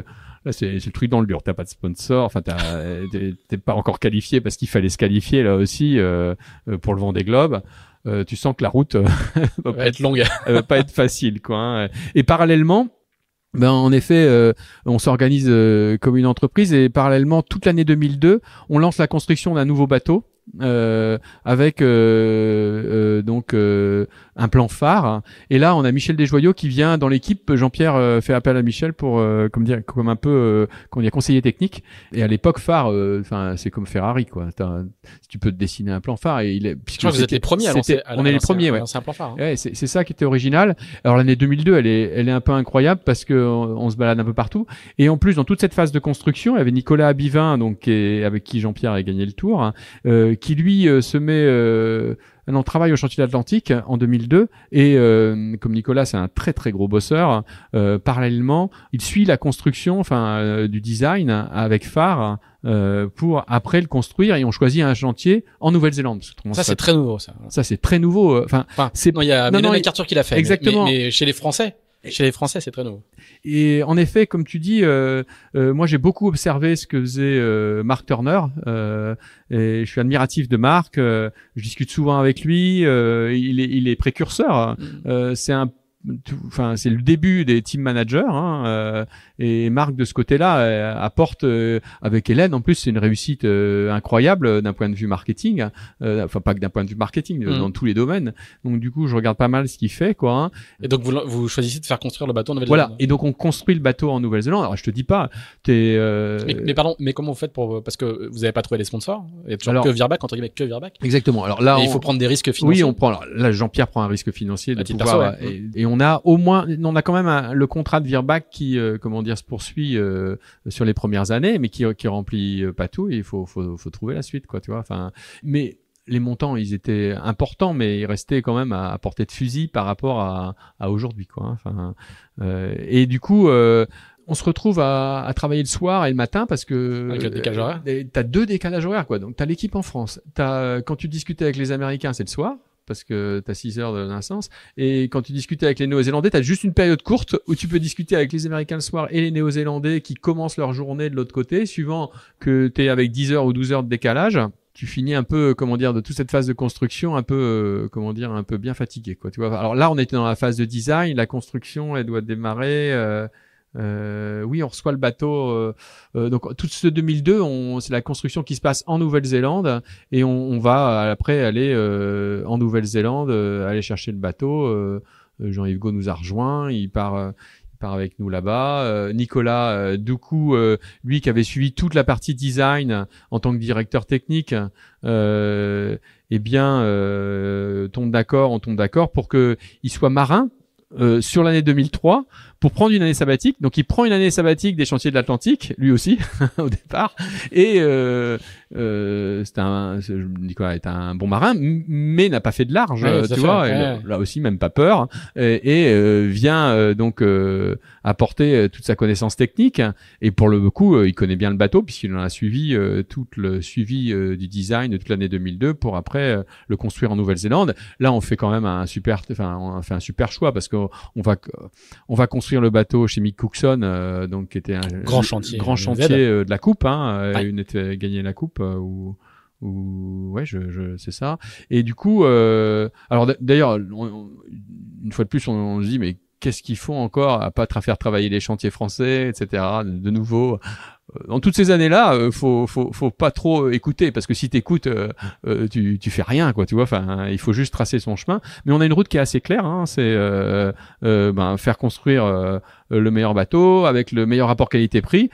Euh, moi, je me rappelle, fallait, je jouais avec le cours de la de la monnaie néo-zélandaise parce que en fait, elle était très fluctuante hein, et j'avais trouvé une application où euh, peu à peu j'engageais le budget, mais en réservant le cours parce que tu sais pas si le cours il va monter ou descendre et donc euh, sur des sommes assez quand même conséquentes où fallait, c'était un, million et quelques, et fallait du coup réserver. Et je faisais des des, des places, des, achats en avance de réservation de cours de monnaie pour être sûr que ça, le, cours il, il était très fluctuant le cours de la monnaie néo-zélandaise.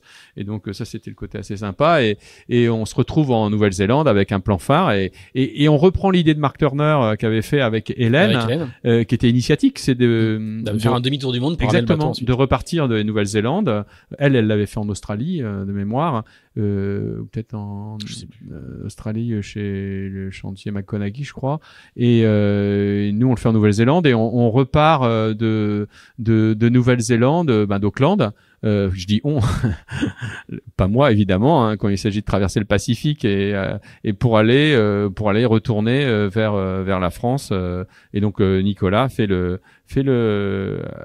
alors c'est je sais plus là, j'ai un trou de mémoire, je sais plus parce qu'une fois on est repassé par Durban et l'autre fois on est repassé par par le canal de Panama. Et je sais plus lequel est lequel. Parce on, on l'a fait quand même trois fois, hein, donc du coup un peu un, mix parce qu'on l'a fait on, on l'a fait pendant donc on a fait quatre bateaux au final. Hein, le premier c'était le plus mémorable cette année 2003 parce que le, plan phare arrive, on fait des photos là-bas et alors ce que trouve le phare, c'est qu'il euh, y avait la règle des 10 degrés sur la Jojimoka et ils mettent des ballasts euh, au centre.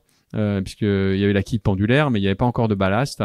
Et, ils utilisent la règle des 10 degrés ou avec des ballasts que l'on met au centre qui permettent de, voilà d'avoir un plus. Et ils trouvent un, pas un trou de jauge, mais une optimisation, une optimisation qui permet d'avoir le bateau qui rentre euh, en France, euh, voilà. Et on a le super timing. De ce côté-là, euh, le plan est parfait. Enfin, d'un point de vue timing, sauf qu'il faut quand même se qualifier début 2003 avec le bateau qui rentre. la règle du Vendée Globe dit qu'il faut se il faut se qualifier avec le bateau et faire une traversée de l'Atlantique avec moins de 7 nœuds de, avec plus de 7 nœuds de, de vitesse, de moyenne. Et donc, euh, eh bien, la route du Rhum n'a pas n'a pas été un succès. Euh, on a rendu le bateau un mât cassé. Euh, euh, je découvre euh, Mich et Jean-Jacques Laurent pour négocier euh, rendre le bateau avec un, un mât en moins. Voilà, c'était sympa. et euh, bon, c'est un personnage Jean-Jacques Laurent, hein, donc voilà. C'est patron de PRB. Hein. Patron de PRB, ouais. C'est vraiment quelqu'un d'attachant. Et puis du coup, il faut quand même se qualifier pour le pour le Vendée Globe. Et il y a la Transat anglaise. Euh, qui arrive et là du coup euh, on se prépare pour la Transat anglaise avec un nouveau bateau euh, le plan phare et, on va au départ de Plymouth alors là du coup on est en 2004 déjà on est en 2003 ah non 2004 oui t'as raison t'as raison. ah oui t'as zappé un petit truc j'ai zappé un truc un petit un petit détail. Un petit détail, un petit détail de l'histoire c'est que c'est que vous êtes tout nouveau tout jeune tout beau tout frais et puis vous allez claquer la Jaguar. Exactement. Alors là c'est vraiment le truc le pied de nez incroyable. Ouais, le pied de nez incroyable euh, Nicolas a pris une année sabbatique. Les deux, ils ont jamais traversé l'Atlantique en course. T'imagines? Tu, En face, t'as Vincent Rioux, Sébastien Josse, Bilou, enfin que des grands marins quoi. alors en 2003, Bilou il doit être Alex Thompson parce qu'il vient de vendre son bateau et et les deux, euh, peu à peu, dans la course, ils se retrouvent en tête. Et une fois qu'ils sont en tête, ils lâchent pas, quoi, tu vois. Et, ils ont un matelas plus confortable qu'en 2005, hein, puisqu'il doit avoir euh, 50 ou 100 000. Euh. Alors Bahia, on y va. Alors là, c'est, carrément incroyable parce qu'on se retrouve à, à. Euh, moi, un, an avant ou deux ans avant, non, en avril 2002, je suis arrivé. Donc un an et demi avant, euh, je connaissais pas le milieu. Euh, euh, Nicolas, euh, lui, euh, avait fait de la voile, mais pas, pas du large. Jean-Pierre décrié comme marin et on se retrouve à gagner la enfin il gagne et du coup on parce que c'est l'équipe hein. et alors là c'est c'est la fête incroyable c'est le plus beau souvenir parce que ben parce que c'est la première fois, c'est la première victoire. on offre à Virbach cette victoire qui justifie euh, pour nous elle été clé parce qu'elle justifie l'investissement parce que c'est pas juste parce que c'est le fils du patron exactement parce que il euh, y a toujours besoin de, de montrer aux équipes que euh, ils ont bien fait d'investir parce que même si on a un contrat euh, de 3 4 jusqu'au Vendée Globe quoi il faut embarquer embarquer les équipes quoi hein. moi mon rôle c'est de faire en sorte que le projet il soit utilisé en interne quoi avec tous les vétos quoi hein, et, mm-hmm. et, de faire en sorte de, de faire naviguer des vétos l'été et ça ça nous aide de façon incroyable parce qu'après il y a ça fait un déclic quoi tu vois ça c'est un petit point important que qu'on oublie souvent dans les équipes, hein, c'est que il suffit pas d'avoir un sponsor, il faut souvent l'aider à exploiter le projet. Et ça, c'est euh, c'est encore aujourd'hui ce que dans, dans, dans, certaines équipes et plutôt les petites équipes, euh, je parle pas de l'IMOCA, mais euh, dans d'autres dans d'autres supports, on oublie parfois que il suffit pas de donner, de mettre le projet entre les mains du sponsor. Il faut, il faut l'accompagner dans, dans l'activation, quoi. Ça, en effet, c'est un point clé. Et je disais toujours euh, euh quand j'avais mes stagiaires, parce que j'ai pris pas mal de stagiaires chez Absolute Dreamer, quoi. Euh, je leur disais, mais c'est pas parce qu'ils nous ont dit non qu'ils sont pas disponibles, euh, ça reste euh, de notre responsabilité. Il y a toujours une bonne excuse pour que euh, ton sponsor dise bah non, euh, finalement j'ai pas réussi à avoir du monde, euh, j'ai pas réussi à organiser la venue de clients, de ses propres clients. au final, c'est toi le responsable parce que un sponsor qui n'utilise pas ton projet, tu sais qu'à la fin, bah, il, va pas. Renouveler. Et donc du coup, là, là où au moins, enfin, j'ai apporté quelque chose de ce côté-là, c'était de faire en sorte que le sponsor euh, utilise le projet. Et, et j'étais on était assez moi j'étais assez souvent à Nice euh, pour aller justement euh, euh travailler avec euh, Sophie Favini qui était la directrice à l'époque de communication pour faire qu'on utilise le projet. Et la victoire l'a bien aidé parce que ça légitimait. Et, et ils l'ont utilisé de façon formidable Virbac parce que année après année je me souviens un jour je suis à Paris où il y a un labo concurrent qui dit oh non mais quand je rentre dans la salle quand les quand les commerciaux là ils rentrent dans la salle alors ils savaient pas que moi je travaillais dans la, je travaillais dans la voile. Donc du coup enfin il, savait pas que je travaillais enfin bref il savait pas qui j'étais. Et j'entends ah ouais non mais quand quand les commerciaux euh, concurrents ils rentrent euh, dans le, dans le dans la clinique Veto euh, il y a il y a il y a un poster avec Jean-Pierre Dick merci cher confrère du soutien et là tu as l'impression d'aller chez le concurrent alors que tu vas chez ton client quoi tu vois et donc ce côté là a été bien super exploité par Virbac pendant des années et a fait qu'il y a eu cet attachement et du coup on communique sur Jean-Pierre le niçois puisqu'on a Nice et le Conseil général euh, euh, des Alpes-Maritimes sponsor, on communique sur le, le veto euh, de Nice. Même si on est basé à Lorient, ça reste niçois. Et la singularité du marketing, c'est qu'à un moment, il faut avoir un élément distinctif. Mm. Et donc, du coup, on, joue la carte du veto niçois, c'est distinctif et ça correspond à voilà aussi à son au sponsor. Donc, ce qui permet aussi de communiquer sur sur le fait que Virbac est une boîte veto, ce que ce que tout le monde ne sait pas. Est-ce que le, le, à l'issue de cette victoire dans la Jaguar 2003, il y a un, un, changement de regard quand même du, du milieu? Justement, vous êtes. Euh, oui, oui. C'est vous êtes les gars qui sont pas du sérail et vous gagnez quoi il y a un changement de regard. À un moment, je, me souviens encore de la remarque narquoise d'un des concurrents que je ne citerai pas pour, pour pas lui faire du mal. Je le dirai en rigolant. Euh, J'aime bien, mais il dit, euh, qui dit à Jean-Pierre quand il arrive euh, en 2003 à Bahia, euh, ah ben dis donc, il va bien ton bateau, quoi. Genre, euh, si t'as gagné, c'est parce que ton bateau va vite. Oui, bon, en effet. Ce qui est vrai aussi. Ce qui, était vrai aussi, ce qui, ce qui montre que l'équipe avait bien travaillé. mais il y a toujours un peu ce, ce, ce doute quand même, tu vois. Enfin Euh, ils regardent plus euh, qu'est-ce qu'ils ont fait pour gagner, tu vois. euh, et, et ça montre bien que le milieu, était pas mûr parce que des gens qui arrivent de l'extérieur, qui ont un regard nouveau, qui vont chercher un nouvel architecte, euh, euh, ça veut dire qu'il y avait encore des choses à faire euh, pour faire bouger les lignes, et, tu vois. Enfin, et que on nous reprochait d'être franco-français. Là, du coup, au moins, il y avait moins cette remarque sur le fait, euh, comment dire, euh, de pas avoir construit en France, d'avoir pris un architecte. À l'époque, c'était les Finocong qui étaient euh, Ouais, dominants. Ils venaient de gagner euh, le Vendée Globe 2001, d'avoir été un architecte euh, qui avait jamais, qui avait fait la coupe, mais qui avait jamais fait euh, d'IMOCA. C'était, c'était novateur comme démarche. Bon, puis il y a plein de concurrents qui vont prendre des, des plans phares derrière.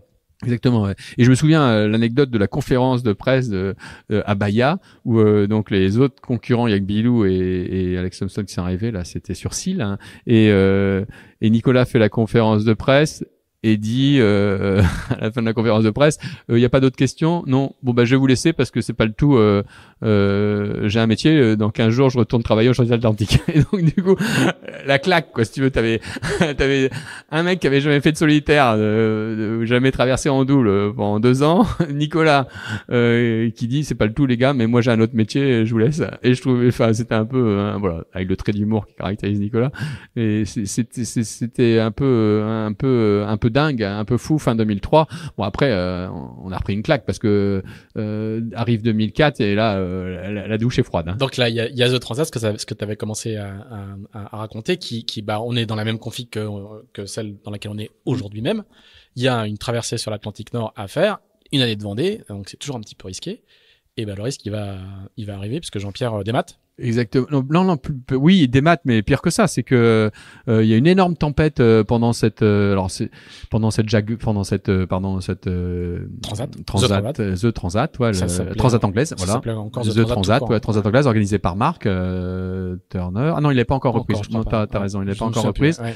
Et euh, une énorme tempête où euh, Jean-Pierre est plutôt bien placé. À l'époque, j'habitais encore Rennes euh, et euh, je suis appelé. euh, et là, euh, il me dit, euh, j'ai fait la voix quand quand un marin t'appelle, qui est dans la galère. La première seconde, tu sais, Tu sais, au son de la tu sais rien qu'au son le sur le halo tu sais oh là ça se passe pas bien et là il me dit euh, bon euh, j'ai fait un demi-tour je dis ben bon, bah, tout va bien enfin t'as fait un demi-tour ok bah, tu vas te remettre dans tu vas tu vas, tu vas repartir euh, dans le sens. non non non j'ai fait un demi-tour euh, comment dire euh, avec le mât dans l'eau ah ah d'accord, euh, j'ai plus de, j'ai plus de main. Ah, d'accord, et toi ça va? Oui, bon bah ok, tout va bien. euh, et là il y a la il y a la communication satellite, mais tu sais que ça va pas durer longtemps, quoi, tu vois. Donc il faut euh, noter les coordonnées. Enfin, t'es tout de suite en mode euh, urgence. Et euh, C'est ta première gestion de crise. c'est ma première gestion de crise et là c'est chaud parce que euh, bien il faut euh, en effet avoir les réflexes pour euh, pour pour se dire euh, je sais pas si la communication va durer tu sens bien que c'est pas si simple que ça hein, euh, et donc euh, il faut gérer le fait de bien noter euh, les coordonnées euh, de commencer à gérer. Alors là tu, tu quittes tout et, et c'est là où les gens se rendent pas compte de la vixée de team manager. C'est que euh, même en course tu te dis euh, voilà j'essaye de vivre ma vie. Et là euh, t'as le coup de fil et tout s'arrête quoi. Tu vois tout tout ce que t'as prévu euh, ta vie de famille tout ça machin ça n'existe plus tu vois même si t'as des, des enfants. Et du coup là tu t'isoles et là c'est parti tu te mets dans une pièce et t'essayes de gérer. Et là il faut il faut aller chercher Jean-Pierre. Alors c'était la première fois c'était intéressant. Après il y a eu un bon débrief parce que euh, euh, c'était la première fois qu'on réalisait que euh, les bateaux pouvaient se retourner faire le tour complet et parce qu'il y avait une règle comment dire des 10 degrés mais on n'avait pas encore fait le calcul avec la dynamique et en fait quand on était trop quillé en fait ça allait à l'encontre de d'éviter de chavirer quoi. Et là le bateau il a fait un, un 360 hein, et heureusement euh, quelques minutes avant Jean-Pierre était dehors autrement il serait pas là. Et il était à l'intérieur. Donc du coup il a fait euh, comme dans une machine à laver hein, un tour complet. Et il se retrouve à, à, à appeler et qu'on aille le chercher et, et là il faut trouver à chercher parce qu'il y en avait eu aussi d'autres qui avaient eu le problème il y avait Bernard Stam je crois Bernard mémoire, Stahl, ouais. Et du coup, euh, bah, trouver rien que de trouver un moyen d'aller chercher le bateau, c'était une galère. Et là, Il on a était eu, en plein milieu. Enfin, il Il était était en plein il était pas milieu, ouais. Était proche de nulle part. Là, il- heureusement, il y avait les Anglais euh, avec le de, de Pindar, euh, Andrew Pindar, qui a été vraiment sympa, qui a mis à disposition son chalutier pour qu'on aille euh, chercher Jean-Pierre. hein, je remercie encore. Et donc, on, Mais ça va être très long. Enfin, il y a, mais ça va être très long, 10 jours. 15 Jean-Pierre, il se 10 ou 15 caille, il jours, avec hein. le candidature de survie. On a mis 10 jours pour pour aller le chercher. Il m'appelait, il me dit qu'est-ce que vous foutez? Enfin, là, là, là, c'est- tu peux pas aller plus vite. Enfin, Et puis on est à euh, 4 mois des Vendée Globe. on est à quatre mois du départ de la Vendée Globe, ça sent le cramé quand même. hein. Là, je, je t'avoue, euh, il faut. C'est un baptême du feu en termes de gestion de crise. Après, t'en, t'en, Ah tu oui, vas en voir d'autres. Oui, mais, oui. mais là, c'est quand même euh, ton baptême Ouais, du ça feu. sent le cramé parce que si tu veux, il faut récupérer le mât. pas cette euh, expression. euh, ça sent pas bon quoi tu vois enfin et moi je lui avais dit à Jean-Pierre bah de toute manière euh, là euh, si tu arrives pas euh, enfin ça pose question quoi tu vois enfin je vais enfin L'avantage de l'amitié, c'est que tu te dis les choses, tu vois. Enfin, avec Jean-Pierre, on a toujours été assez cash, quoi. hein. On a même mis une double porte après. Euh... Chez Absolute Dreamer, il y a une double porte pour pas trop effrayer les équipes. Ah ouais. mais mais euh, c'était toujours euh, le fait d'avoir la confiance. Tu peux te dire les choses, tu vois. Et il, s- et il, il y avait pas plus engagé que moi euh, en, en termes de comment dire, en termes de, de porter le projet, quoi. Tu vois. Enfin, donc du coup, tu peux te dire les choses parce que tu sais que t'es pas euh, en train de dire quelque chose d'extérieur euh, avec la critique. T'es là euh, pour que ça avance, quoi. Tu vois. À propos d'engagement, une petite question de, de, de- d'entrepreneur. Euh, vous étiez associé au, au capital d'Absolute Dreamer ou c'était pas encore. un employé de Jean-Pierre Moi après, je voulais être associé parce que j'avais toujours voulu être euh, gérer une entreprise. Ouais, voilà, tu vois. Et après, je suis devenu euh, euh, actionnaire de, de Absolute Dreamer, justement, ou de à, l'issue du de, de ce premier Vendée Globe, euh, j'ai pris une participation Dreamer qui, valait pas grand chose, hein, mais euh, qui permet de à l'époque, enfin puisque c'était euh, en création. Et voilà, après, je suis devenu euh, associé et j'étais euh, Oui, parce ouais, qu'on n'a pas raconté, mais du coup, il y a la création d'une structure Oui, spécifique. hein, exactement, euh, d'une écurie, quoi. hein. d'une écurie et puis ben, on crée un modèle euh, multi-sponsoring hein, parce qu'il y avait Virbac mais il y avait on crée ce modèle euh, que après euh, j'ai partagé souvent avec euh, d'autres euh, marins euh, qui est d'avoir un, un, un sponsor titre ce qui est pas- à l'époque c'était pas le cas hein, euh, que ça soit euh, euh, Bilou, Mich, euh, Bilou c'était Sil euh, Mm. Il y avait un sponsor unique. il y avait un sponsor unique et même mon mentor euh, Mark Turner avait un sponsor unique, tu vois. euh, et il n'y avait pas ce système de multi-sponsoring. Mais quand tu cherches et que tu trouves pas, moment, euh, tu trouves un moyen. au début, au début, c'est une contrainte. Enfin, c'est Exactement. c'est plutôt le, le- Il y a la, réalité qui se qui s'offre à toi. Et après, en fait, vous en avez fait un avantage. Exactement. C'est-à-dire qu'il y a la contrainte de Virbac qui dit moi je veux pas être unique sponsor, même je veux être euh, le moins de, moins de 50%. Et euh, donc du coup on crée ce système de. euh, bah, en fait c'est en regardant les voitures. hein, on fait appel à Tremblot à l'époque. hein, les voitures de course elles, elles sont multi-sponsoring et suivant d'où tu regardes, tu as différents euh, euh, différents marquages qui apparaissent. Non c'est JB Epron euh, qui, qui nous fait notre première déco. Et du coup euh, on. que- Donc, vous pouvez également écouter, euh, comme Marc tout l'heure, un épisode. de Exactement. Et du coup, euh, on crée ce système avec euh, euh, le sponsor titre, le sponsor officiel, et, et ça, on va le garder euh, 17 ans. On va garder cette dénomination et euh, le, le, sp- le- le sponsoring club. Et donc, le sponsor titre a le nom du bateau, le sponsor officiel, a- on, on crée quatre emplacements dans le bas de grand voile, et le sponsor euh, club, euh, c'est euh, la marque sur, Et puis sur la certains vont grandir, vont changer de catégorie, Exactement, c'est ça, ça qui est la, la beauté du truc, c'est qu'après, euh, au fur et à mesure des années, parce qu'il n'y a pas beaucoup d'équipes qui ont duré 17 ans sans arrêt, et, et la clé c'est de pas s'arrêter, quoi, hein, et de, de faire grandir les sponsors. Donc ça, c'est ça, ça, on a vrai, euh, enfin pour le coup. Euh, ça a été vraiment notre apport euh, avec Jean-Pierre au départ, parce que dès le Tour 2001, il avait des multisponsors, donc il avait déjà un peu créé le modèle, mais on l'a affiné avec euh, des contrats euh, bien définis, euh, et, et voilà. Et, et donc euh, C'est aussi ce modèle-là qui oblige à s'occuper des sponsors, hein, puisque Exactement. t'as pas qu'un seul interlocuteur, il y en a plusieurs, il faut Oui, les faire parce que. On, on crée la notion de prestation de service, c'est-à-dire qu'on définit dans le contrat quel est le montant évidemment du sponsoring, mais à quoi il a le droit, et Mm. donc on, on définit Donc, des un droits. nombre de jours de, un nombre de jours Un- de oui. un nombre de jours de mise à disposition du skipper, etc. Exactement. Le, Mais le comme il y en a plusieurs, il faut être très précis. Ah bah oui, Il faut que celui qui est à qui a le rang officiel, bah, il est euh, 10 jours, j'ai inventé euh, 10 jours de, de nav. Celui qui est juste Exactement. En dessous, il en est que 2 ou 5. Et celui qui est tout au-dessus, il en a 30. Enfin, Ouais, ce qui est une contrainte parce qu'on se retrouve, hein. euh, contrairement à d'autres, à faire beaucoup naviguer. euh, mais ce qui est bien, c'est un- c'est une contrainte et, et en même temps c'est bien. Hein, J'ai écouté le podcast de David Sino. En effet, c'est c'est une contrainte de de faire naviguer beaucoup de, de partenaires, mais mais c'est ce qui fait que le, partenariat est dur, euh, euh, surtout sur une boîte en B2B euh, euh, où euh, les clients sont professionnels et, et donc euh, tu peux les faire venir. Et c'était le cas, euh, voilà, c'était le cas de Virbac, c'était le cas de Paprec. Et donc là, on se retrouve fin euh, juin euh, à, la- à la Transat. c'est- ça sent le cramé. Sandra, ça sent le cramé. Euh, faut euh, en deux trois mois, faut récupérer un mât. et donc je pense qu'on manchonne le mât. Enfin, on récupère une partie du mât. Euh, Jean-Yves part, il y a une photo, je me rappelle très bien, où Jean-Yves Gopard sur le bateau récupérer le mât, on arrive à récupérer le mât et le ramener et surtout ramener le bateau en remorque et, et là on se retrouve fin juin à, Lorient et l'horloge fait tic tac parce que il y a un, un paragraphe du, de l'avis de course du Vendée Globe qui dit euh, en cas de non qualification dans les courses euh, euh, préliminaires, il faudra se qualifier via un parcours en, en Nord-Atlantique. Mais, je crois que j'ai oublié une chose parce que après la victoire de la Jacques Vabre 2003, il y a le retour, il y a la course retour. et la course retour vers La Rochelle et, et là aussi, euh, Jean-Pierre est en solo, et, et, et, là aussi ça part bien, mais là aussi euh, dans euh, euh dans un calme plat. Euh, il, y a il doit avoir un, quelque chose qui se dévisse sur le, la fixation du mât sur les côtés et le mât il tombe. Donc ah, c'est son deuxième dématage. C'est son deux, c'est son troisième quoi en fait. Hein, c'est ah oui, avec la route du Rhum. Il y a eu la route du Rhum, la victoire à la Jacques Vabre où là on était monté très haut. Là, tu rentres euh, à Paris, tu es super content, et de nouveau, tu as une gestion de crise. Le nombre de gestions de crise qu'on a faites, c'est quand même euh, pas mal ces, ces deux années-là. Euh, donc, on chope pas la grosse tête après après la Jacques Vabre, hein, parce que justement, il y a ce tout part bien, la course retour, le défi. je me rappelle plus du nom, mais le, le défi qui rentre donc jusque La Rochelle. Et là, euh, on arrive quand même à organiser euh, la récupération d'humains au milieu de l'Atlantique euh, en décembre 2003. et Jean-Pierre arrive à faire un, un gréement de fortune en rentrant à La Rochelle et il rentre début janvier de La Rochelle. T'imagines, tu avais prévu que tu rentrais le 20 décembre en, ayant épuisé toutes les nourritures, il doit se rationner.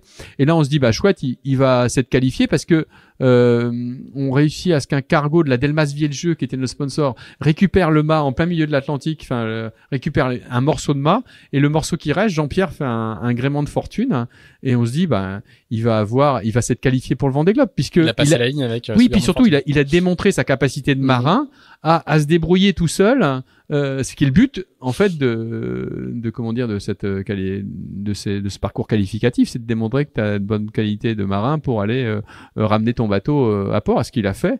mais pas de bol, il y avait cette notion, comme je disais tout à l'heure, de 7 nœuds minimum de vitesse, et, et, il est en dessous des 7 nœuds, alors qu'il passe la ligne d'arrivée à La Rochelle euh, comme un grand euh, en ayant ramené son bateau, ce qui est quand même une fierté parce que du coup, euh, ça, heureusement qu'il y a eu ça parce que ça, ça démontrait quand même là aussi la capacité. mais on se retrouve du coup, tu vois le, les points qu'on avait marqués juste avant avec la victoire de la Jacques Vabre euh, fin 2023, euh, ils sont un peu, euh, comment dire, ils ont appris un peu du plomb dans l'aile. Alors quand il y a le deuxième dématage, le troisième du coup pour le coup sur la Transat, ça commence à faire à faire beaucoup. En quoi. Ouais, trois en deux ans. Du coup, ça commence à faire beaucoup. bon, vous allez quand même trouver une solution. On trouve une solution et là, il fait son parcours qualificatif et il doit être revenu avant le 20 septembre, je crois. ah, in extremis quand même. In extremis, il arrive le 18 et il a 18 septembre 2004 euh, qualifié pour le Vendée Globe en ayant fait un parcours euh, où Denis Euro l'envoie euh, euh comme normalement ou Sylvie Vian, je sais plus euh, était, qui est-ce qui avait fait le parcours et de façon légitime euh, envoie dans le dans le Nord Atlantique se prendre une, une, bonne baston et, et revient au bout de 3500 000 qualifié pour le Vendée Globe. Là on fait ouf. Et puis ben le, le compte à rebours il, il part, mais c'est pas c'est pas le meilleur la meilleure préparation si tu veux. Euh, enfin parce que euh, bah, il y a le Vendée Globe qui arrive en novembre et, c'est un peu chaud pour le départ 2004 quoi. Hein, mais voilà, on était déjà content d'être qualifié euh, avant avant ce Vendée Globe 2004. Et alors, donc c'est des Vendée Globe, tu vas en faire quatre au total. Hein, ouais, Jean-Pierre va en faire quatre. Ce, ce, premier, il a quel, quel souvenir tu gardes toujours cette euh, cette même ambiance de bah, ce, qui, ce qui est dingue c'est que Jean-Pierre la première nuit il se retrouve euh, premier à, à euh, tu vois premier euh, oui la pression je veux dire c'est un ah, la pression tous les gens de notre secteur. Et ils sont ils sont une quarantaine à, à l'envisager aujourd'hui. C'est c'est les Jeux Olympiques de la voile quoi. Donc ah, oui, vous, oui. vous en toi en termes de team manager comment tu gères cette les trois semaines au sable cette pression qui est quand même très très forte sur sur toi sur les équipes? Ouais, on se pose pas trop de questions. On, a, on, et on est la tête dans le guidon euh, d'un point de vue technique parce qu'on n'est pas en avance, quoi. Euh, euh, et puis en même temps, on est les premiers organisés. Euh, nous, on a tout organisé quand même la partie RP, quoi. Hein. On n'avait pas d'agence mmh. de, de, com qui gérait les invités, quoi. Tu vois, enfin, on le faisait tout en direct. je crois qu'on était passé de Sophie Vavini on a changé de directeur de com, euh, directrice de com chez, chez Virbac. Et euh, du coup, euh, on organise tout ensemble pour accueillir. Et là, on fait un truc extraordinaire. C'est le, on a inventé le, le repas d'avant départ de course ou le petit déjeuner où il y avait 200, 300 personnes plus les bateaux. On était les premiers, enfin pas les premiers parce que PRV était bon aussi, mais on était partie des, des équipes leaders de ce côté-là d'utilisation. Et c'est un moment d'émotion le départ qui est incroyable. Quoi. Honnêtement je pense qu'on euh, avait sous-estimé euh, la charge émotionnelle et euh, même la, la charge émotionnelle. C'était ça ma question. on a sous-estimé complètement, moi en tous les cas en tant que team manager à l'époque c'était mon premier, la, la, charge émotionnelle du départ. moi je finis la fin, la, la, la fin du dimanche là épuisé et je me dis purée, mais Jean-Pierre, euh, lui, euh, il, est en mer. il, est en mer et il doit être un peu fatigué quand même, même si on a essayé de le préserver, même si on a défini des plages horaires, tu vois. Et, et pourtant, on est super organisé, on a un timing. Alors, on est premier, enfin, je pense qu'on fait un, on fait un super boulot préparatoire d'organisation pour pas qu'il soit trop cramé avec les, les visites des, des, des, opérations RP parce qu'on fait pendant trois semaines au sable on fait vraiment venir beaucoup de monde quoi et, et puis la chose exceptionnelle surtout euh, à, en septembre après être qualifié euh, ce qu'on a oublié de dire c'est qu'en 2004 euh, juste avant le départ, euh, nous rejoint Paprec. C'est-à-dire que voilà, c'est ce que j'ai demandé. Quand est-ce qu'il arrive? C'est c'est donc euh, euh, c'est Nico qui me dit tiens mais euh, Paprec avait sponsorisé le, truc à trois bateaux là le euh, voilà c'est ça ouais. Eh, excuse-moi et du coup il me dit tiens mais ils ont sponsorisé euh, tu peux toujours envoyer et, j'arrive à avoir euh, le mail de Jean-Luc Petit Huguenin et, et alors là on t'apprend à faire des grands tu vois des grands comment dire des belles présentations etc j'en avais tellement envoyé de mails etc que là je, je connaissais pas Jean-Luc et j'ai fait euh, bonjour, si vous êtes intéressé par le Vendée Globe, euh, euh, venez faire le Vendée Globe pour le prix d'un Figaro. Euh, appelez-moi à tel numéro. Enfin, et, le, la phrase était juste simple, mais faisait-il parce que le prix d'un Figaro, c'est pas le prix d'un Vendée Globe, hein, et la coque était blanche, et donc du coup. je reçois une réponse, prenez rendez-vous, euh, voilà mon, mon assistante et je prends rendez-vous et, et quand est-ce que vous pouvez je dis ben c'est vous euh. donc le premier créneau était début septembre le Vendée Globe partait euh, fin octobre tu parles que là aussi c'était chaud quoi tu vois et là je fais une heure d'entretien avec Jean-Luc qui m'écoute attentivement et à la fin, donc au bout d'une heure, il me dit, il me dit c'est bon, quoi. Je dis bon bah c'est bon, ok, genre c'est fini, quoi. Tu vois. Enfin, je dis c'est bon. Euh, non non non c'est bon, euh, c'est bon. Euh, on y va. On, y va. Ah, ah, ah bon, c'est bon? euh, J'avais jamais vu ça. Enfin, tu vois, à décider le jour de, ça n'arrive jamais, si tu veux. Ça c'est la, c'est quand même une force de, de grand manager. Hein. Enfin, quand on voit où entre où est pas prêt qu'aujourd'hui en termes de chiffre d'affaires et où est pas prêt qu'à l'époque, il doit faire 200, c'est 200 millions d'euros. Aujourd'hui, pas prêt que c'est au-dessus des 2 milliards. Hein. la capacité à décider sur un rendez-vous, de sentir qu'en effet, de connaître un peu le sujet euh, et, là, du coup, euh, on se retrouve euh, moi dans le train à appeler JB Epron pour faire la déco et puis pour pour rajouter Paprec, et rajouter les lettres, etc. Et donc ça, c'était c'était génial et d'organiser après avec avec Régis. Faour d'organiser bah, les, opérations RP qu'elle avec parce que du coup et surtout la, la bonne idée c'est qu'on on traite Paprec comme comme, euh, au même niveau que Virbac. C'est-à-dire que même s'il bénéficie de l'effet d'opportunité, euh, on le traite de la de la même manière et il est sponsor titre, c'est ce qu'on lui a vendu et, et on fait vivre le, le, le Vendée Globe dès le départ. Euh, et il y a cette association là et qui légitime pour Virbac, c'est-à-dire que c'était un pour, pour Virbac c'était un plus aussi parce que ça légitimait le fait que Virbac investisse même vis-à-vis de, de l'interne et vis-à-vis aussi euh, de l'externe vis-à-vis des, des vétos. Donc c'était et ça c'est miraculeux là aussi. Enfin après être passé, euh, tu vois, c'était les montagnes russes ces deux trois années parce qu'après être passé de de trois dématages, pas de sponsor, un sponsor à la dernière minute qui relance le truc, euh, c'était miraculeux euh, de, trouver un sponsor aussi tard. On est arrivé bien épuisé sur le départ euh, du premier Vendée Globe. Alors, il va finir ce premier Vendée Globe? Quel souvenir toi tu gardes en tant que team manager de, ces, trois mois de ces trois mois d'attente à terre, de, de, de dialogue? Alors, vous organisiez plein de trucs, hein, même chose, les relations oui, publiques oui. continuaient. Je me souviens d'avoir été invité, euh, j'étais à l'Express à l'époque, j'avais été invité. C'est vous qui faisiez les, les, les tartines de, de- de- du cocktail, quoi. hein. Il y avait pas de, il y avait pas de traiteur invité, quoi. Ah oui, oui, oui, on faisait tout. Hein. On a, c'est des directs extraordinaires. Euh, moi, je garde. euh, on avait pas mal discuté avec l'organisation du Vendée Globe. C'était Sophie Vercelletto qui était arrivée. Qui venait, euh, de, qui, de, qui venait de reprendre. Hein. Exactement, et, et ils ont fait un super boulot. C'était quand même quelque chose de nouveau parce que c'était de Philippe de Villiers qui avait repris euh, l'organisation du Vendée Globe euh, et euh, et c'était un truc extraordinaire parce que euh, Philippe de Villiers, il avait dit euh, pour faire euh, voilà pour le Vendée Globe quand il avait repris euh, la course, il avait dit euh, Bon bah Luc, je vais vous dire avec sa voix euh, extraordinaire. Et euh, il dit euh, bah, pour le Vendée Globe c'est simple, euh, il faut il faut la mer. Et au Sable d'Olonne on a la mer et des marins. Et donc du coup il avait vraiment valorisé l'IMOCA et les, et les coureurs hein. et c'était la première fois où il y avait des primes de course qui qui ont qui ont changé quand même la vie, enfin en tous les cas, euh, qui, qui reconnaissait en tous les cas euh, la performance, je pense, euh, des marins. Donc ça c'est une parenthèse, mais c'était c'était c'était sympa. Et, et, et du coup ils ont mis vraiment euh, euh, en place euh, toute un, une facilité. On pouvait louer euh, le, le lieu où il y avait les directs euh, le midi. Euh, a été loué le soir aux, ou même prêté aux équipes, hein, euh, mis à disposition même je, de mémoire. Des Pour- ouais. Et donc nous on se retrouvait à la table euh, comme comme un journaliste, tu vois, enfin euh, comme toi, j'allais dire, euh, à faire un direct avec euh, moi j'animais le direct avec euh, les partenaires que j'invitais qui étaient dans la salle cette fois-ci et Jean-Pierre et euh, il, il y avait les équipes du Vendée Globe qui te faisaient avec euh, l'écran derrière, qui te faisaient animer comme un direct euh, télé, quoi, tu vois. Et ça, quand t'as des sponsors, c'est magique parce que tu fais vivre vraiment le truc.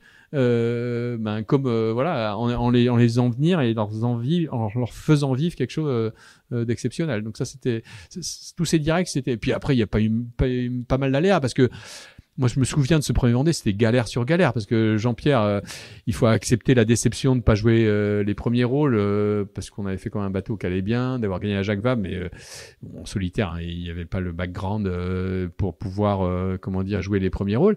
Mais il se retrouve sans électricité et euh, c'est un des premiers à faire le tour sans électricité. Avec, on avait mis des panneaux solaires. euh, euh, c'est un des premiers à, à- peu à peu, euh, comment il s'appelle, j'ai plus son prénom, mais Dubois avait terminé, avait dû s'arrêter euh, faute d'électricité. Thierry Dubois. Thierry Dubois, voilà, un grand marin, avait dû, dû s'arrêter faute d'électricité. Tu n'avais pas de marin à avoir terminé sans électricité, tu vois. euh, euh, et c'est et, et là euh, Jean-Pierre se retrouve avec pilote enfin t'imagines le pilote sans électricité à, à faire des heures euh, là et Jean-Pierre c'est un dur au mal quoi tu vois et- Ah, c'est là, c'est vraiment là c'est- qu'on découvre c'est justement qu'on ce découvre- caractère-là. ouais ce côté ma- qui est capable d'aller, MacGyver qui est capable d'aller, puis qui est capable d'aller très très loin, voire, voire trop loin. voire trop loin C'était C'est- souvent l'une de vos inquiétudes, je me souviens. Exactement, c'est un peu son son a- comment dire sa caractéristique, son son défaut, comme souvent qu'il y a une- un défaut et une qualité, c'est de se faire une capacité à se faire mal qui est extraordinaire.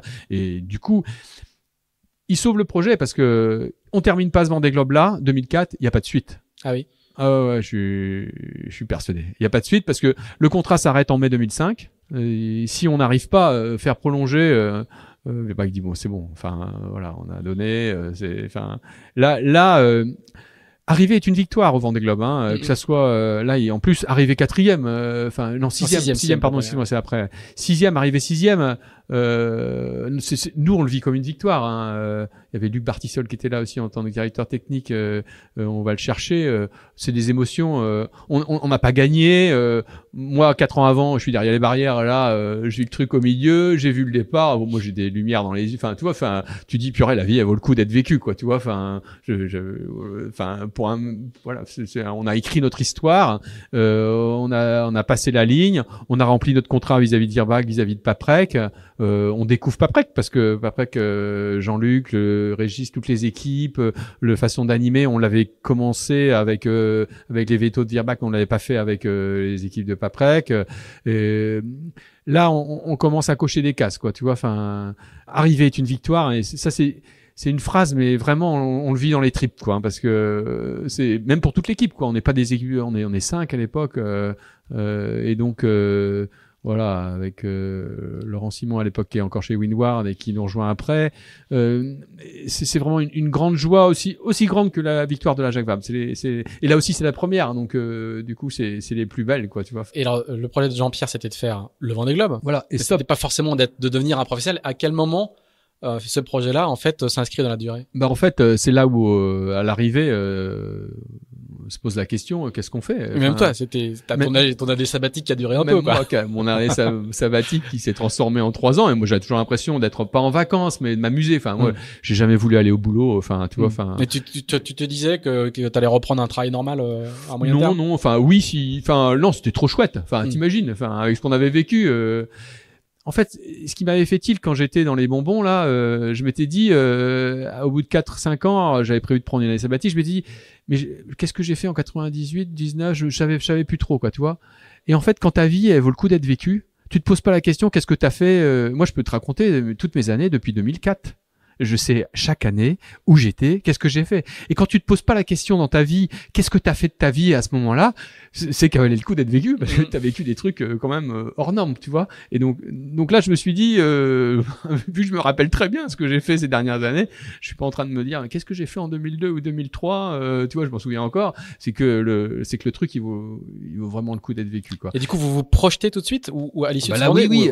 Et là la difficulté c'est de signer, c'est de signer de nouveau un, un et, de signer pour quatre ans. Et là, c'est chaud parce que tu te retrouves euh, en, en mars. Il y a deux mois que le Vendée ou un mois que le Vendée est arrivé, un mois et demi, t'as toujours pas signé. T'as l'horloge qui fait tic tac. T'as ton contrat qui s'arrête euh, fin mai euh, ou fin juin euh, t'as as tes budgets qui s'arrêtent. Et puis euh, il faut faire naviguer les gens euh, parce qu'on n'avait pas fait tous les jours. Donc faut remettre le bateau en état. Et puis mais la suite elle est pas écrite quoi. Donc il faut reconvaincre convaincre Virbac et Paprec de continuer.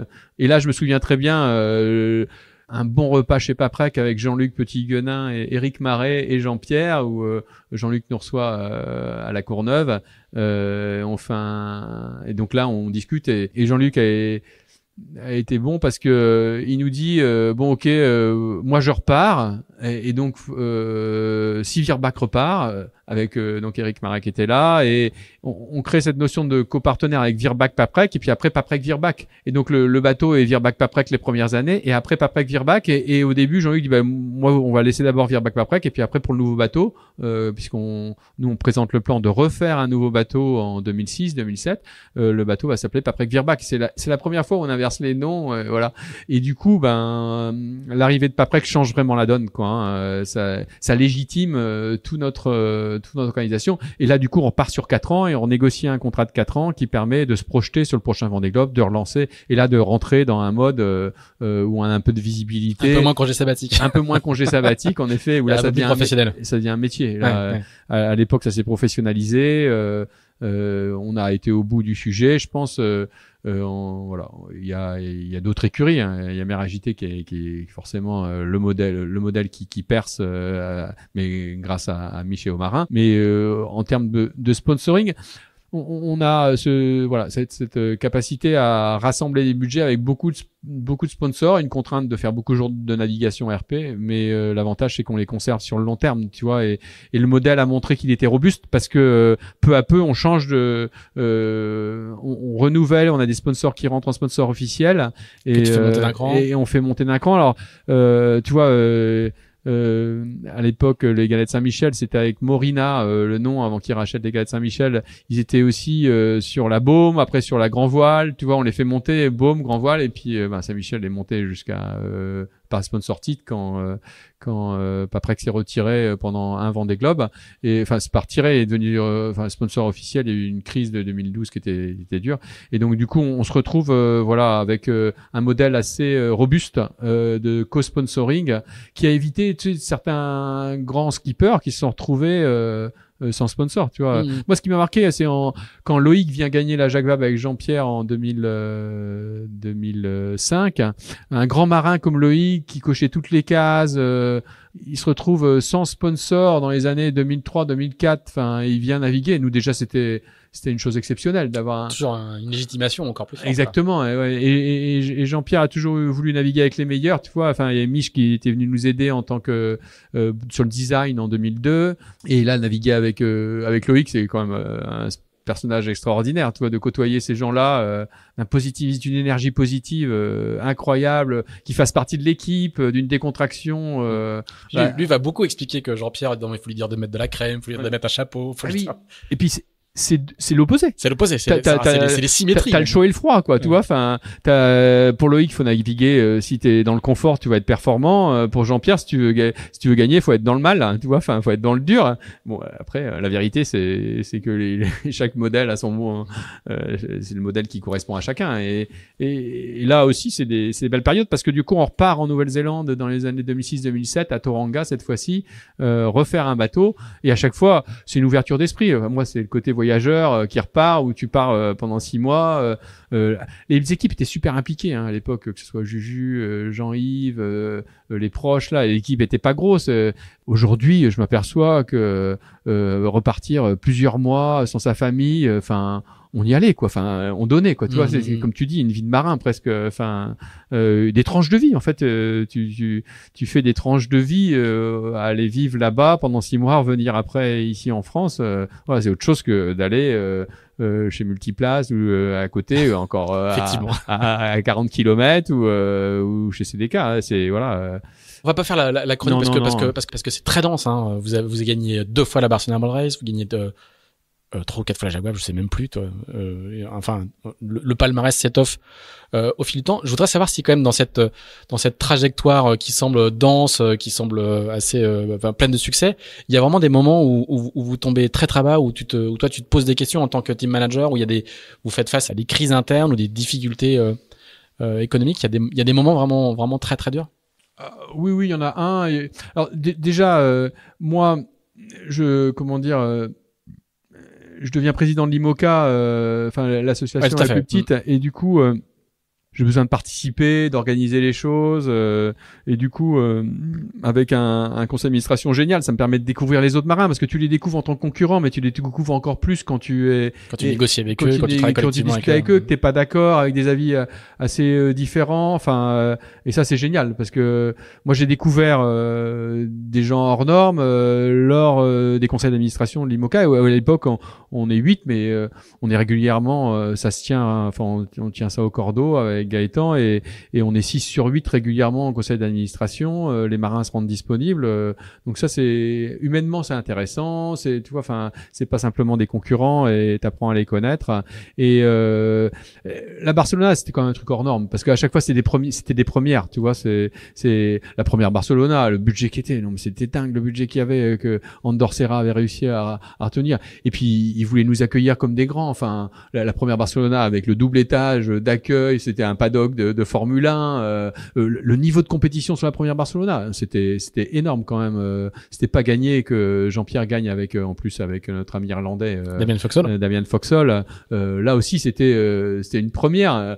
Euh, donc euh, et puis euh, il y avait du il y avait il y avait Mich, il y avait, il y avait tous les concurrents, il y avait Vincent, Ryu, il y avait il y avait tout le monde quoi, tu vois. Enfin donc c'était c'était une vraie fierté là, c'était de regagner. Et, et- et- alors je vais revenir sur les creux, mais sur, sur la fierté, c'est c'est d'avoir d'avoir tous les deux ans offert une victoire. Mm. Alors, il se trouve que c'était en double en, euh, à chaque fois, mais offert une victoire à nos sponsors. On a on- là, tu, tu remets 100 francs dans la machine, enfin, tu remets 100 francs, tu remets 100 francs dans le nourrin, euh, tu dans la machine, parce que euh, ben il y a quelque chose qui se passe et, et la victoire légitime que ton projet il a du sens, que enfin qu'il a du sens, qu'il qu'il apporte euh, et, et surtout dans les yeux des, des invités. Donc euh, voilà, et ça aide à faire du business. euh, c'est bien utilisé et voilà, il y, y a tout ce qui se passe bien. Après il y a la crise de 2009. Alors là c'est une claque. Voilà, quoi, hein. Là c'est une sacrée claque. euh, Enfin. euh, euh, c'est une vraie crise euh, pour euh, les entreprises, donc forcément le sponsoring il est remis C'est en crise financière au début. c'est une crise financière au début. ouais, Enfin, c'est la crise des 2002, fin- subprimes au départ. 2008.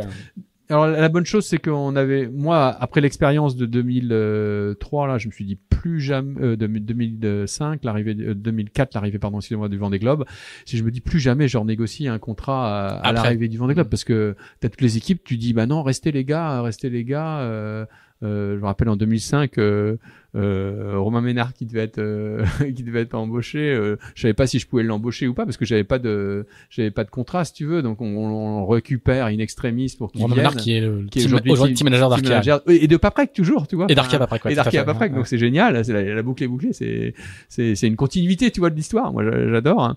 Et euh, et du coup, le, la, la, la crise de 2009, elle est sévère parce que on sent que ça va arriver dans le sponsoring. Donc les contrats, ils se terminent et on voit bien les contrats peu à peu, ils sont pas renouvelés, quoi. Hein. T'as des t'as des, des des grands qui vont arrêter quoi tu vois t'as après dans les années qui qui suivent alors c'est c'est lié aussi souvent dans les grands groupes au, changement de PDG tu mm. vois tu le vois pour Veolia tu le vois pour euh, euh, Foncia euh, dès qu'il y a un changement au Safran dès qu'il y a un changement de, de de PDG ils veulent montrer que eux ils savent gérer et donc du coup bah, ouais, ils vont imprimer leur marque c'est un petit, petit classique un petit classique de marquer son territoire mais mais la crise elle est bien là et, du coup bien il faut pas, pas près que n'échappe pas aussi à, cette crise et euh, on, on, garde pas près qu'embarqué en 2000 euh, et ça ça, ça ça ça a été dur parce qu'il y a l'épisode mode 70 où euh, le, dans les 2012, on passe du, du, du monocoque au, tu vois, l'IMOCA. Il y a cet épisode où euh, il y a toute la flotte mode 70 qui prend, hein, puisque euh, ils font un super boulot. Euh, euh notre ami champion olympique de Barcelone, Franck David, David pour créer la flotte. et puis que nous, quand on s'engage, ça a déjà pris parce que on, on, achète le bateau, ils sont déjà 6, quoi, tu vois. Enfin, et on arrive jusqu'à 8-9. Alors, sauf que c'est naviguer en équipage, et puis ben, on n'est pas anglo-saxon, quoi. Hein. Enfin, naviguer en équipage, euh, le, retour, euh, voilà. Mais pourtant, euh, dans les équipes, c'est génial, c'est du haut niveau. Enfin, il y, a des retournements aussi. là, ben, il y a, il y a le retournement en entraînement. La meilleure vidéo de ta vie. La meilleure vidéo de ma vie qui a fait plus de plus de vues que On a fait plus de retours médias sur sur un chavirage. C'est c'est le truc qui, qui je pense pas qu'il soit passé déjà parce que c'était au moment où il y avait l'hélico.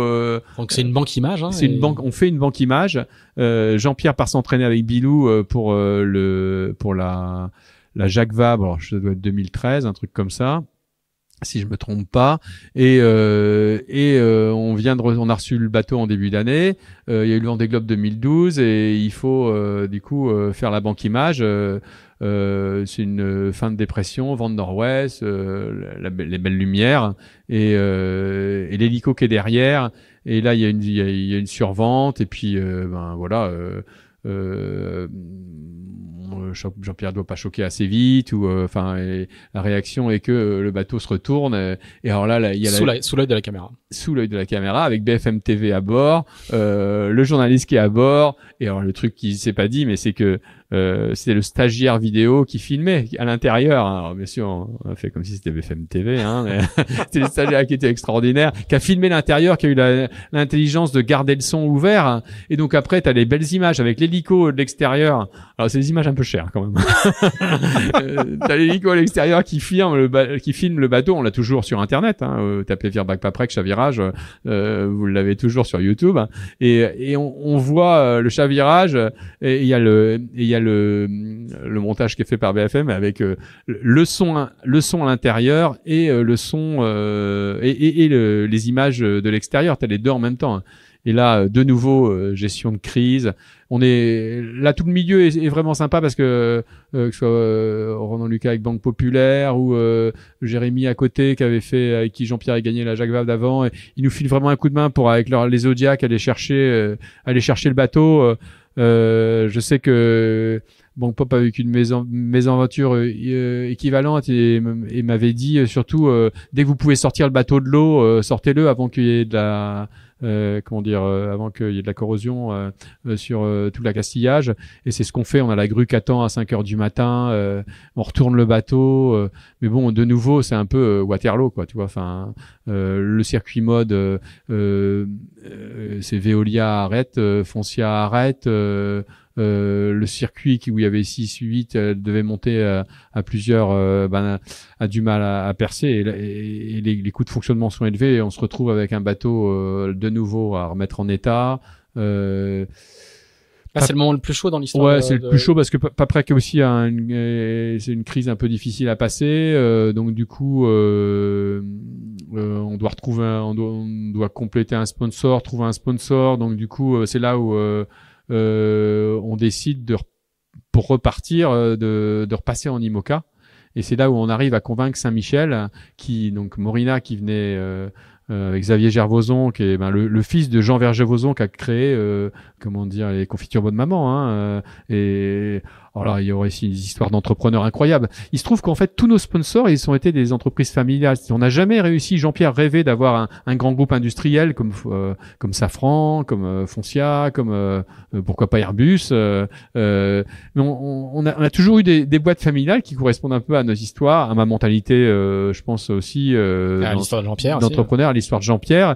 Et, et, on se retrouve là aussi avec un autre patron d'entreprise avec une histoire incroyable. Lui, il est médecin au départ 45 ans et il a récupéré une boîte avec 10 millions de chiffres d'affaires. Un peu comme Paprec, avec des histoires incroyables d'entrepreneurs de, de familles françaises euh, ou Virbac, où les boîtes elles passent de, de ben, zéro pour Virbac à aujourd'hui euh, au-dessus du milliard. Et pareil pour Jean-Luc euh, avec sur Paprec.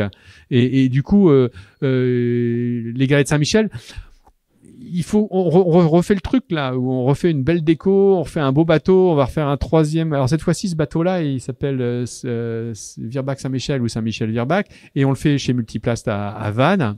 Et c'est un foiler. Et là, c'est reparti. Et là, c'est un foiler et c'est l'arrivée des folles. Et tu vois, aujourd'hui, je me sens, euh, c'est comme si j'avais bossé chez Virbac, bossé chez Paprec, bossé chez Saint-Michel. C'est-à-dire que en tant que team manager et les, les liens qu'on a eu euh, qu'on a eu avec les directeurs de com, euh, Sandrine Brunel chez Virbac, euh, enfin Vincent Champy chez, chez, chez Saint-Michel, euh, voilà, je vais pas tous les citer, mais moi je me sens et Jean-Luc d'ailleurs il nous invitait à Paprec et chez Virbac aussi pareil, il nous invitait tous à leur réunion de cadre. Donc on faisait partie de la maison, tu vois, mmh. à tel point que chez Saint-Michel on a même fait un film. Alors je, je montre euh, un film euh, où, où euh, on participait aux mêmes aux mêmes exigences que les services des boîtes. Voilà, il y a une vraie osmose qui fait que ça dure, quoi. Tu avec ces, ces, ces, sponsors, la durée quand même de 2002 à 2018 sans interruption, elle vient de cette euh, osmose entre. Euh, il y a un moment quand même où c'est, où c'est très très chaud. Bah, là, c'est chaud quand, quand, quand le mode, euh, on est, tu vois, on est à comment dire, il est dématé. Le budget il s'arrête avec pendant un moment avec Paprec. il faut renégocier, il faut rediscuter, il faut repartir de zéro. Il y a l'horloge qui fait tic tac, tu vois, pour, pour convaincre avant que les équipes, tu dois dire aux gens, ben chacun par chez soi, quoi, tu vois. Enfin, donc là, c'était chaud. Il y a une année un peu blanche en 2014 où on a la bonne idée d'aller naviguer à New York avec le mode 70 une fois qu'il est qu'il est refait et où on fait des super opérations RP euh, dans le canal de l'Hudson là, euh, tout seul. mais c'est extraordinaire, quoi, tu vois. Ça sauve l'année sponsoring alors que il y avait y avait plus de, enfin, on n'avait pas vraiment de course et fallait en même temps on reconstruit un bateau. non, c'était chaud cette période-là. Et là, après, on, retrouve en 2015 donc Saint-Michel comme sponsor avec toujours Virbac pas près qu'en partenaire euh, privilège officiel.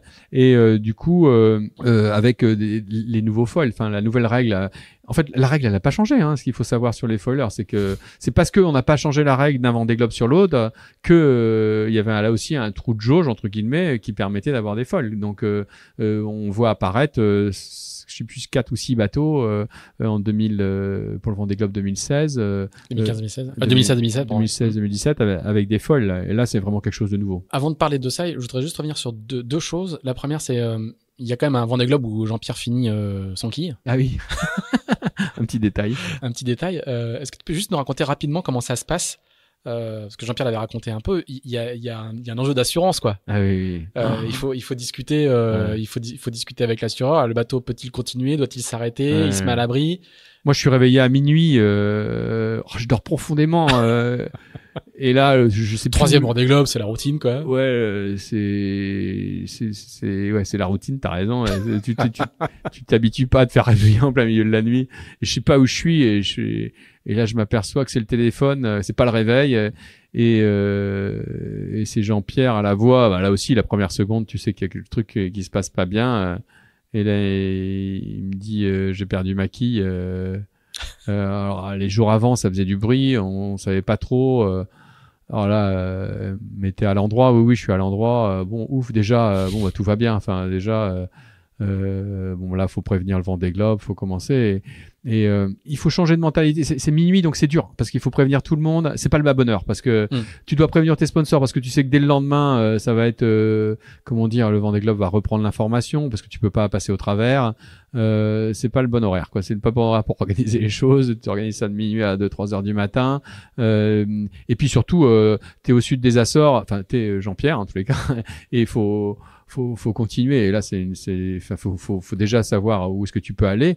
Alors, juste avant, il y avait eu Bilou et il y avait, euh, il y avait Mac Golding. Mac Golding, une super arrivée avec, euh, avec Jean Lecam euh, euh, sur le Vendée Globe 2004-2005 euh, où euh, Mike Golding était arrivé sans qui? Il lui restait 50 000 il était troisième et il avait dit et puis il y a, y a Marc Guillemot qui était rentré qui était rentré sans qui exactement qui était rentré on, savait, on savait que ça pouvait marcher sans. Oui mais sur des courtes distances quoi, tu vois ça permettait de faire 50 000 ou 100 000 et de et de faire en sorte que le bateau il puisse rentrer au port le plus proche. Et Jean-Pierre étant au sud des Açores on se dit, comme Bilou avait fait d'ailleurs, Bilou était rentré euh, aux Açores, euh, alors je sais plus si c'était à cause de la ou à cause du mât, mais je crois que c'était à cause de la et du coup, euh, ben on, ça sont là aussi euh, dit bon bah zut pas terminé. Et comme je dis c'est notre je suis troisième ou quatrième Vendée Globe on sait on sait que c'est c'est clé de terminer quoi tu vois. Et c'est une déception parce que Jean-Pierre est troisième et depuis le début on vise le podium quoi tu vois. Et et là c'est un peu dur parce que euh, bah, c'était mérité cette troisième place, tu mhm. vois. Enfin, sur ce Vendée Globe là, c'était c'était c'était vraiment mérité. Et, là, euh, et là, euh, je me rappelle avoir eu Denis Euro au téléphone euh, le, le, le, jeudi parce que le, le, le midi parce que il allait avoir la conférence du midi. Et, il me dit, je comprends qu'il allait annoncer le l'abandon de Jean-Pierre quoi.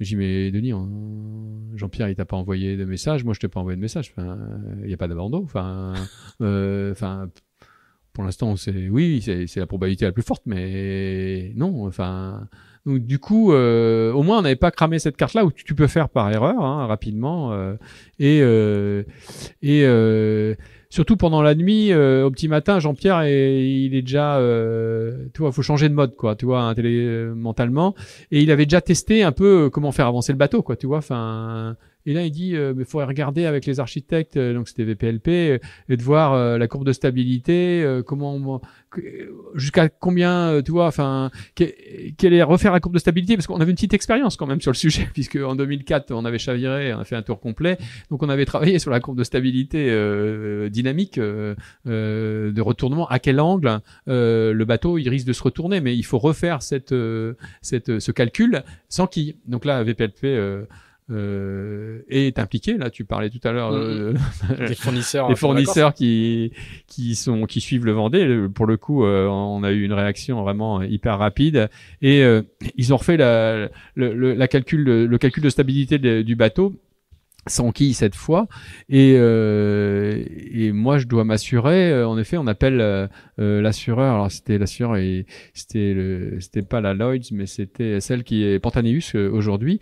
Et moi j'ai eu la chance d'aller les voir avec l'IMOCA et donc de les connaître et d'être en bref j'étais connu un peu du, du sujet du pour service. traiter du service pour alors pas j'étais les voir après mais pour pour pour, euh, pour traiter du sujet avec eux euh, j'avais les interlocuteurs et euh, et au début ils nous disent bah non faut rentrer au port le plus proche quoi. Le port le plus proche c'est les Açores quoi.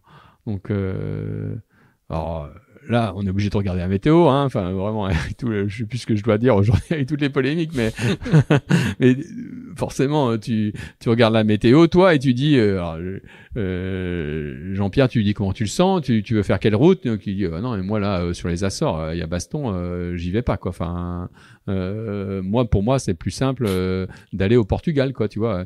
Et donc là, bah, faut convaincre l'assureur d'aller d'aller euh, au, Portugal, euh, Lisbonne.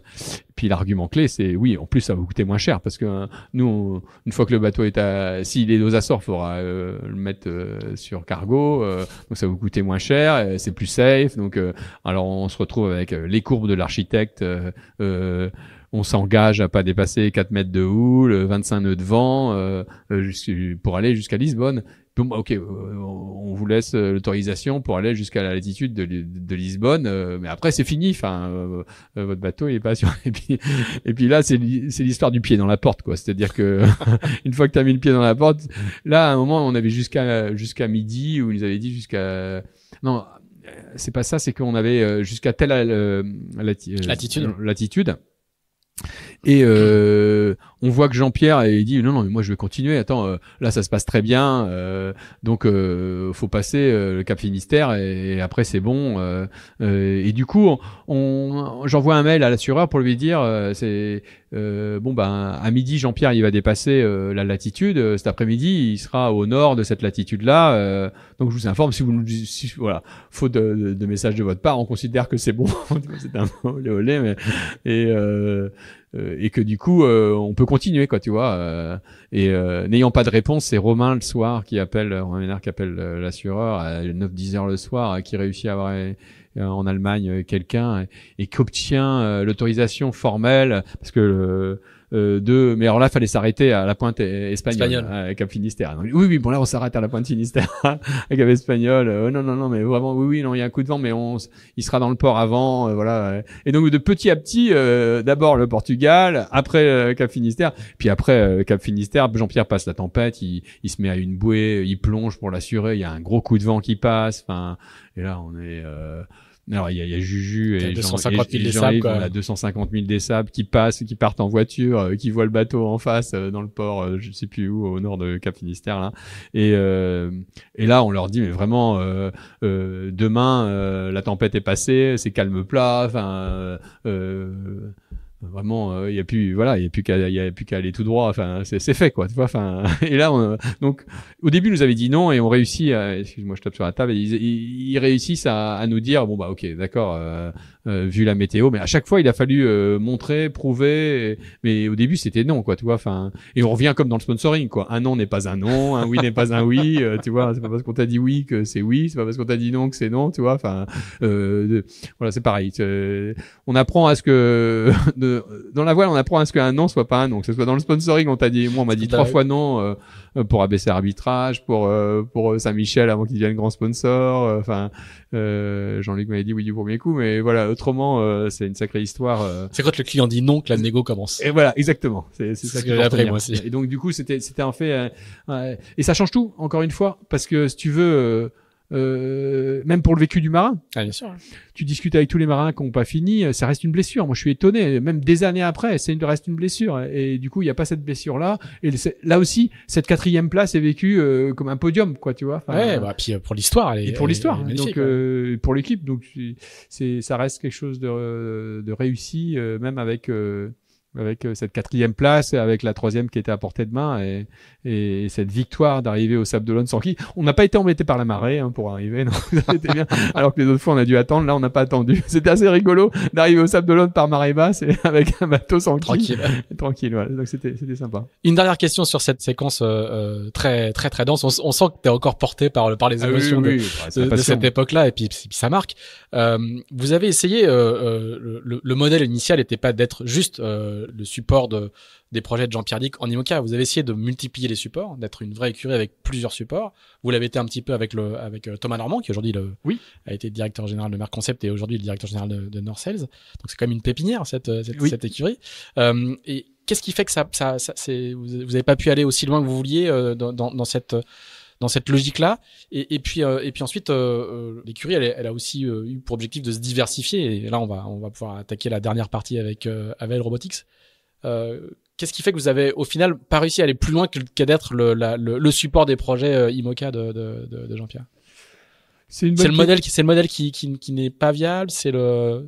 Non, non, parce que Il y a assez peu d'écuries Ouais, avec ouais, plusieurs supports. ça reste très difficile. hein. Il n'y a pas beaucoup qui ont réussi hein, euh, de réussir à, à avoir euh, différents skippers avec différents sponsors. avec différents sponsors. Parce que ceux qui ont réussi, euh, tu vois, euh, à ce moment, Mère Concept au début avec Charlie, Dalin et, et François, c'était massif en trimaran à Pivia en, en, mo- en monocoque, mais c'était la même maison mère. Mm. Euh, là aujourd'hui, c'est admirable parce qu'ils ont deux sponsors très différents. Donc euh, moi, je suis ça, je suis très admiratif de, de cette réussite. C'est avec différents sponsors, tu vois. euh, après. Euh, Thomas Normand, bah, c'était une réussite ce, ce projet mini euh, parce que Et Figaro, il a fait du Figaro aussi. il fait du Figaro et puis il est venu euh, en, il est venu en tant que stagiaire. Nous, chez Absolute Dreamer on a eu un nombre de stagiaires. On a même Clarisse Kremer qui est venu euh, personne ne le sait mais et Jean Lecam qui est, venu euh, faire un projet euh, euh, Vendée Globe où Jean j'ai été le voir un, un 23 décembre. Je l'appelle Jean euh, passe j'ai trouvé un rendez-vous pour Synertiel avec Philippe Christophe et d'avoir réussi à convaincre et Jean est venu faire le Vendée sur euh, Synertiel en, en 2012-2013 où on avait on avait deux bateaux plus un mini euh, euh, après, on n'a pas réussi à ce qu'il y ait de la continuité, euh, en effet, euh, que ce soit dans le sponsoring. C'est- euh, le sponsor de, de- euh, Alors, il y a deux choses. Pour Thomas, euh, lui, il avait pas envie de faire de Vendée Globe, Thomas. Mm. euh, euh, donc, il avait réussi et en, il passé en Figaro. Donc, euh, ça reste plus facile de vendre du, du Vendée Globe que, que autre chose. Il y a aussi Isabelle Yoshke euh, qui est, qui, est, qui, est, qui est venue chez nous et là, moi, j'ai pas réussi à trouver les sponsors qu'on qu'on rêvait. Donc, la difficulté, c'est que nous, on était multi-sponsors déjà avec Jean-Pierre, donc euh, il fallait déjà, quand tu trouvais des sponsors, fallait alimenter euh, le projet 1, et puis le projet 2, il fallait trouver un gros sponsor. Donc ça reste la difficulté de trouver des sponsors. hein. Oui. Euh, ça reste la pro- première problématique. Hein. Euh, c'est pas que d'avoir euh, un modèle. Après, je pense Ce que je veux que dire, c'est que ce modèle-là ne- ne- ne- ne- n'a pas non plus lui des sponsors. C'est pas un argument de dire euh, j'ai plusieurs bateaux dans mon écurie, j'ai plusieurs, ouais, je peux avoir Oui. plusieurs euh, plusieurs formats différents pour vous. euh. Il y, il y avait un savoir-faire, si tu veux, euh, qui était intéressant pour ceux qui venaient euh, euh, dans, dans l'équipe. Hein. C'est le cas euh, aujourd'hui de, de Louis euh, sur euh, Bureau Vallée, où euh, il a plusieurs sponsors. Et il, est, il est plus proche de notre modèle Absolute Dreamer avec plusieurs sponsors et plusieurs euh, euh, skippers.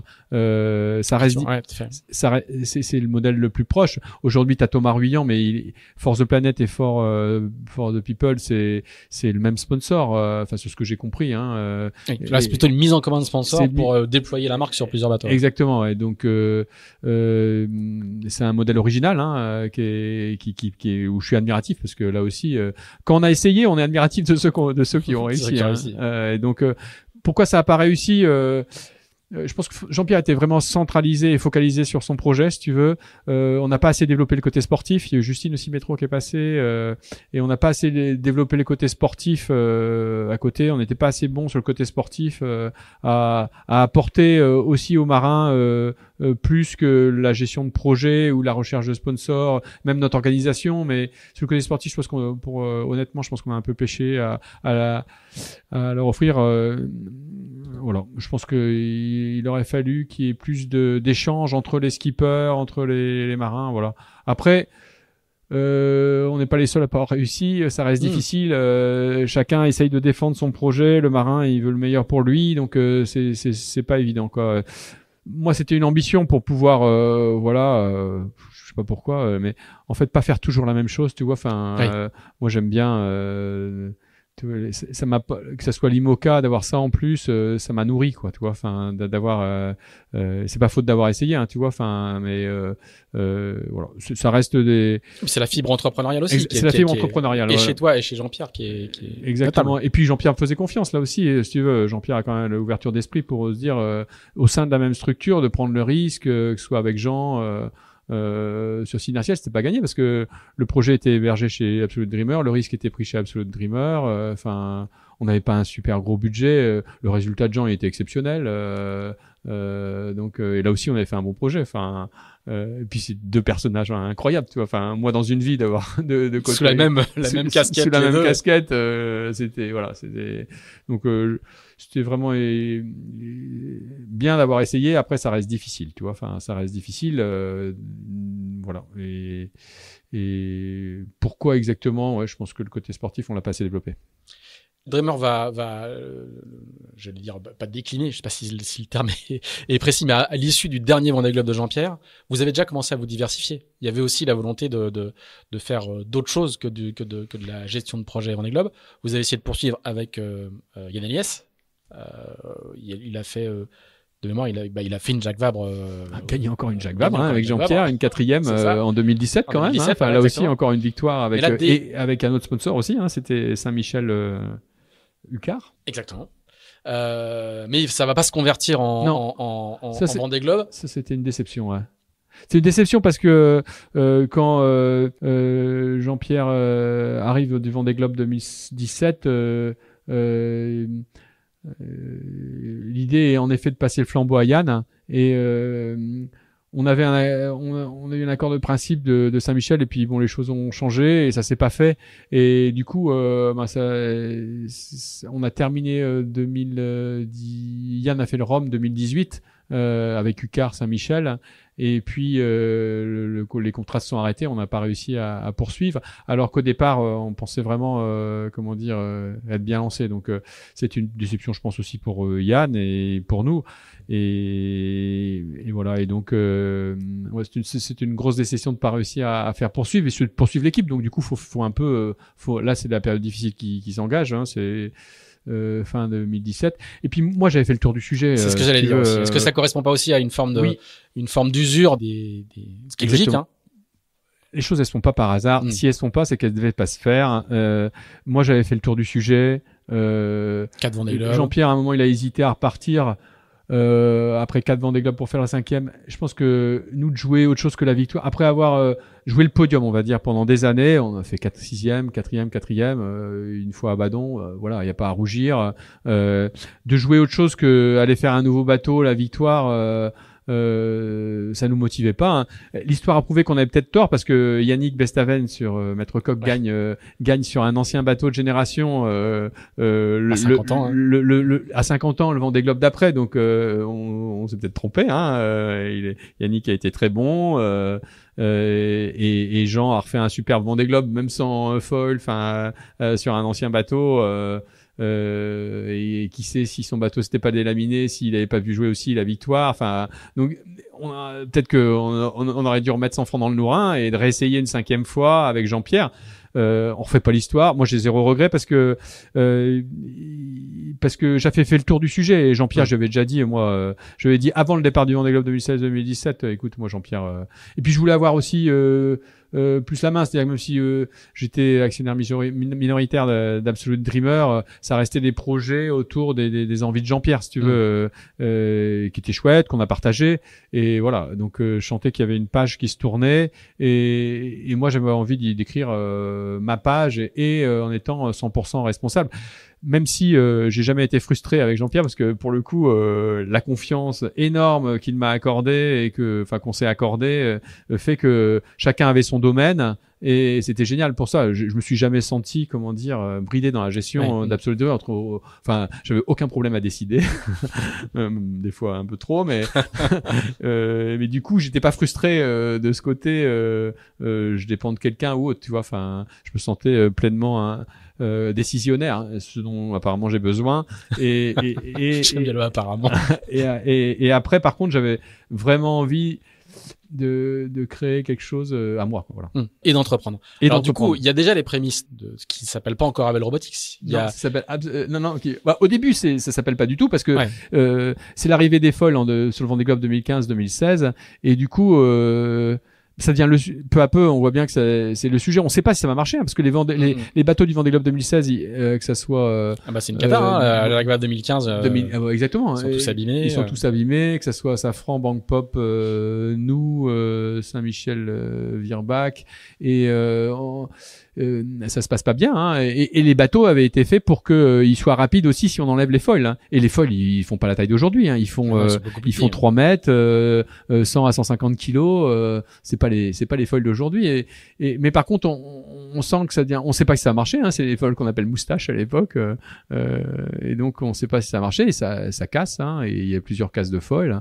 Donc euh, un- là aussi c'est un peu chaud parce qu'avant le Vendée Globe 2016 il y a pas mal de, de, de cases de foil. Hein. Euh, et d'ailleurs après le Vendée Globe 2016 il y avait, euh, je sais pas si Armel utilise son foil tout le temps. Euh, euh, Hugo Boss en casse un. euh, tu vois enfin c'est un peu voilà c'est un peu la cata. Et quoi. ça, c'est, toi, t'as déjà en tête l'idée, de, de, de travailler sur celui-là ou... On lance un interne. euh, on se dit, on va créer une petite équipe de R&D, de jeunes qui vont bosser euh, sur euh, la fabrication de foils.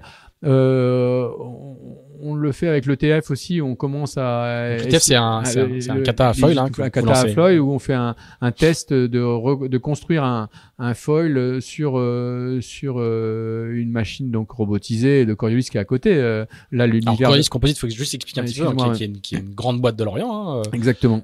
créée par des voileux d'ailleurs. Mmh, tout à fait. Qui, Ils ne sont pas qui sont avec l'extérieur. Galet, ouais. Et... Voilà, et, et son compagnon, oui. qui a qui a couru en classe 40. Exactement. Qui est, qui est plutôt le, le, le scientifique de, le, mmh. de, de, de, la bande et qui eux euh, euh, construisent, enfin c'est une entreprise de manufacture qui construit des robots euh, qui travaillent beaucoup pour le l'aéronautique et dont la caractéristique est de déposer des bandes de carbone pré-imprégnées. voilà.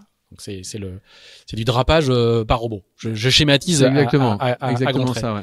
Et, et, vous vous avez l'idée en fait d'utiliser ce savoir-faire local. Oui euh, dans le, le monde euh, du foil. Oui, alors Clémentine euh, Gallet et Alexandre Amelin, au départ, ont créé leur boîte en voulant faire un mini en utilisant euh, voilà. des robots de drapage. Et du coup, euh, ben, c'est comme toujours entreprendre, c'est avoir un objectif. C'est et, et, ils ont créé des, des, robots de drapage, mais ils se sont aperçus que le marché de l'aéronautique était quand même plus porteur et donc développent leur boîte de 2005 à aujourd'hui et, et vendent de, des robots dans l'aéronautique. Et il se trouve que le centre de recherche R&D, comment dire, euh, euh, qui permet de faire transmettre ses savoirs entre l'UBS et les entreprises qui s'appelle Compositic Irma, l'UBS et l'Université de Bretagne Sud. Alors, Ils ont un centre de R&D qui, qui, qui, va, qui a investi euh, un robot euh, de Coriolis, de, donc la, la boîte d'Alexandre et de Clémentine euh, Gallet, et, et ils, euh, ils mettent à disposition pour faire des tests. Et nous, du coup, on lance un, appel à projet au sein de la structure d'Absolute Dreamer.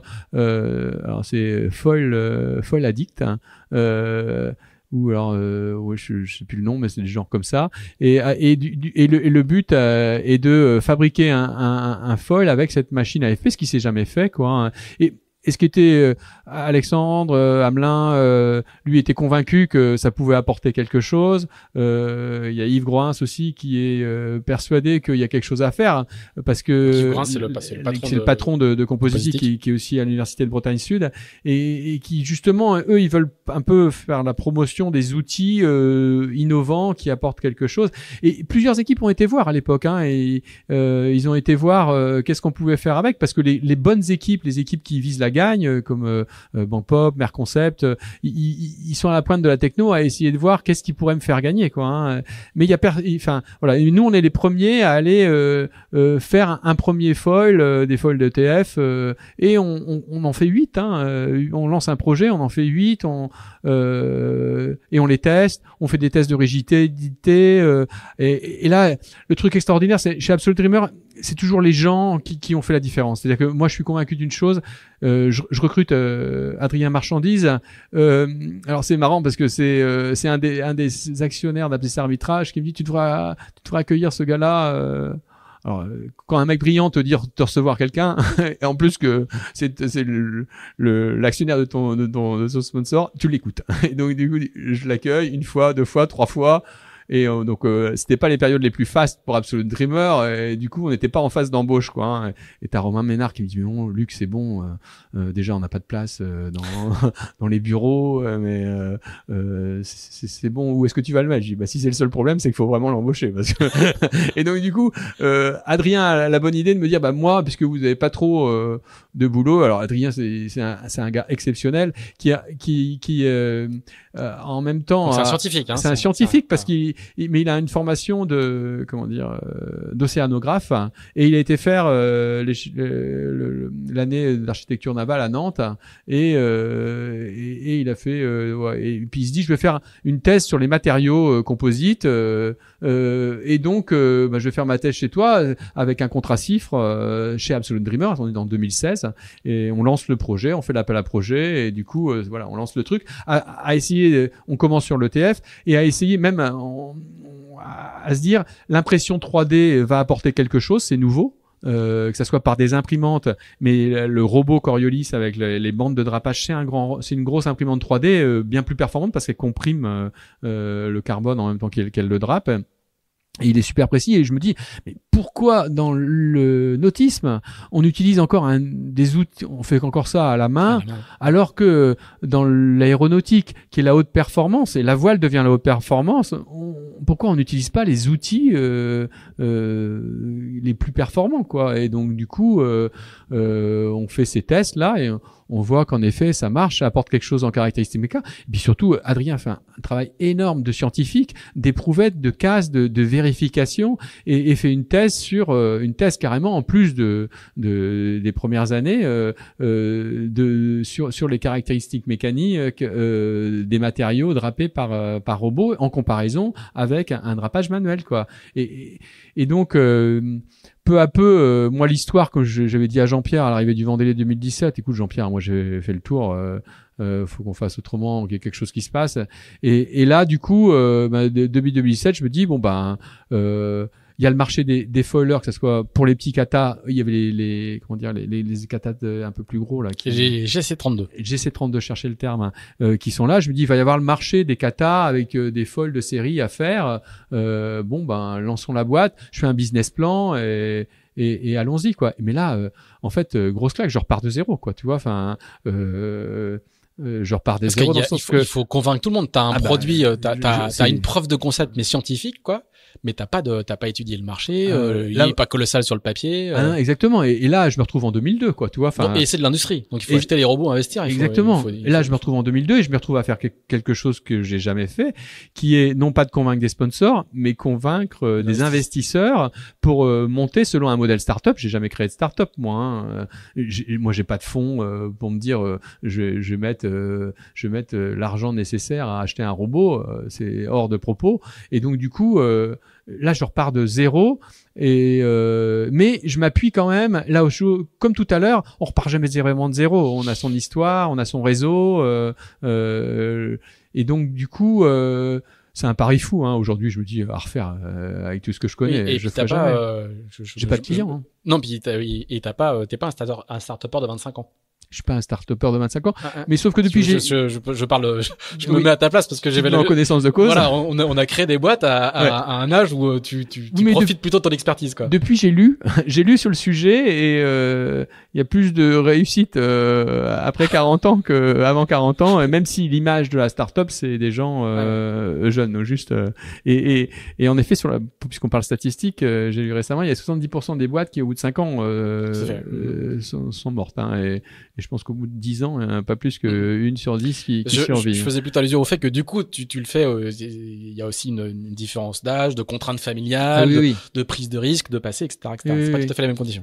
Alors là, pour le coup, euh, je vis un autre stress. Hein. Je dois aimer le stress parce que franchement, euh, de repartir de zéro, et puis les investissements sont colossaux. Enfin, colossaux, dans le sens où un robot, c'est plus d'un million d'euros j'ai juste fait un fold ETF de 20 kilos. Euh, donc ça, on, on, se place fin 2017. Je crée la boîte euh, en octobre 2017. Euh, donc c'est une sorte de, c'est un spin-off d'Absolute Dreamer. Exactement. Jean-Pierre, euh, c'est un essaimage, ouais. prend quelques actions à titre euh, exactement symbolique, quoi. Oui, puis pour le remercier, comment dire, d'avoir, comment dire, je rachète le savoir-faire Absolute Dreamer. là, Yann, lui, va faire le, le, le sur Absolute Dreamer et dans l'année 2018 où il va faire le ROM. Et ils, viennent de gagner avec Jean-Pierre la Jacques Vabre fin 2017. Et, et moi, je commence, je, je crée la boîte avec euh, enfin Absolute Composite à l'époque, euh, fin 2017. Et je dis, Jean-Pierre, moi je vais faire autre chose. Euh, et mais comment dire euh, je, vais voilà je rachète le savoir-faire et Adrien donc qui était embauché chez Absolute Dreamer je, je, rembauche les gens chez Absolute, chez Avel euh, qui était euh, embauché chez Absolute, ou en stage ou embauché chez Absolute Dreamer quoi tu vois donc du coup ce qui permet de de un peu enlever cette partie R&D de de Absolute Dreamer et, qui décharge d'un point de vue euh, risque. Euh, risque. et charge pour Absolute Dreamer ce qui est aussi pas mal dans cette période où on a du mal à trouver des sponsors et ce qui Avel remet une charge dès le début on se retrouve à 5 avec des salaires à payer et là bah, je découvre le modèle startup qui est vraiment un modèle incroyable hein.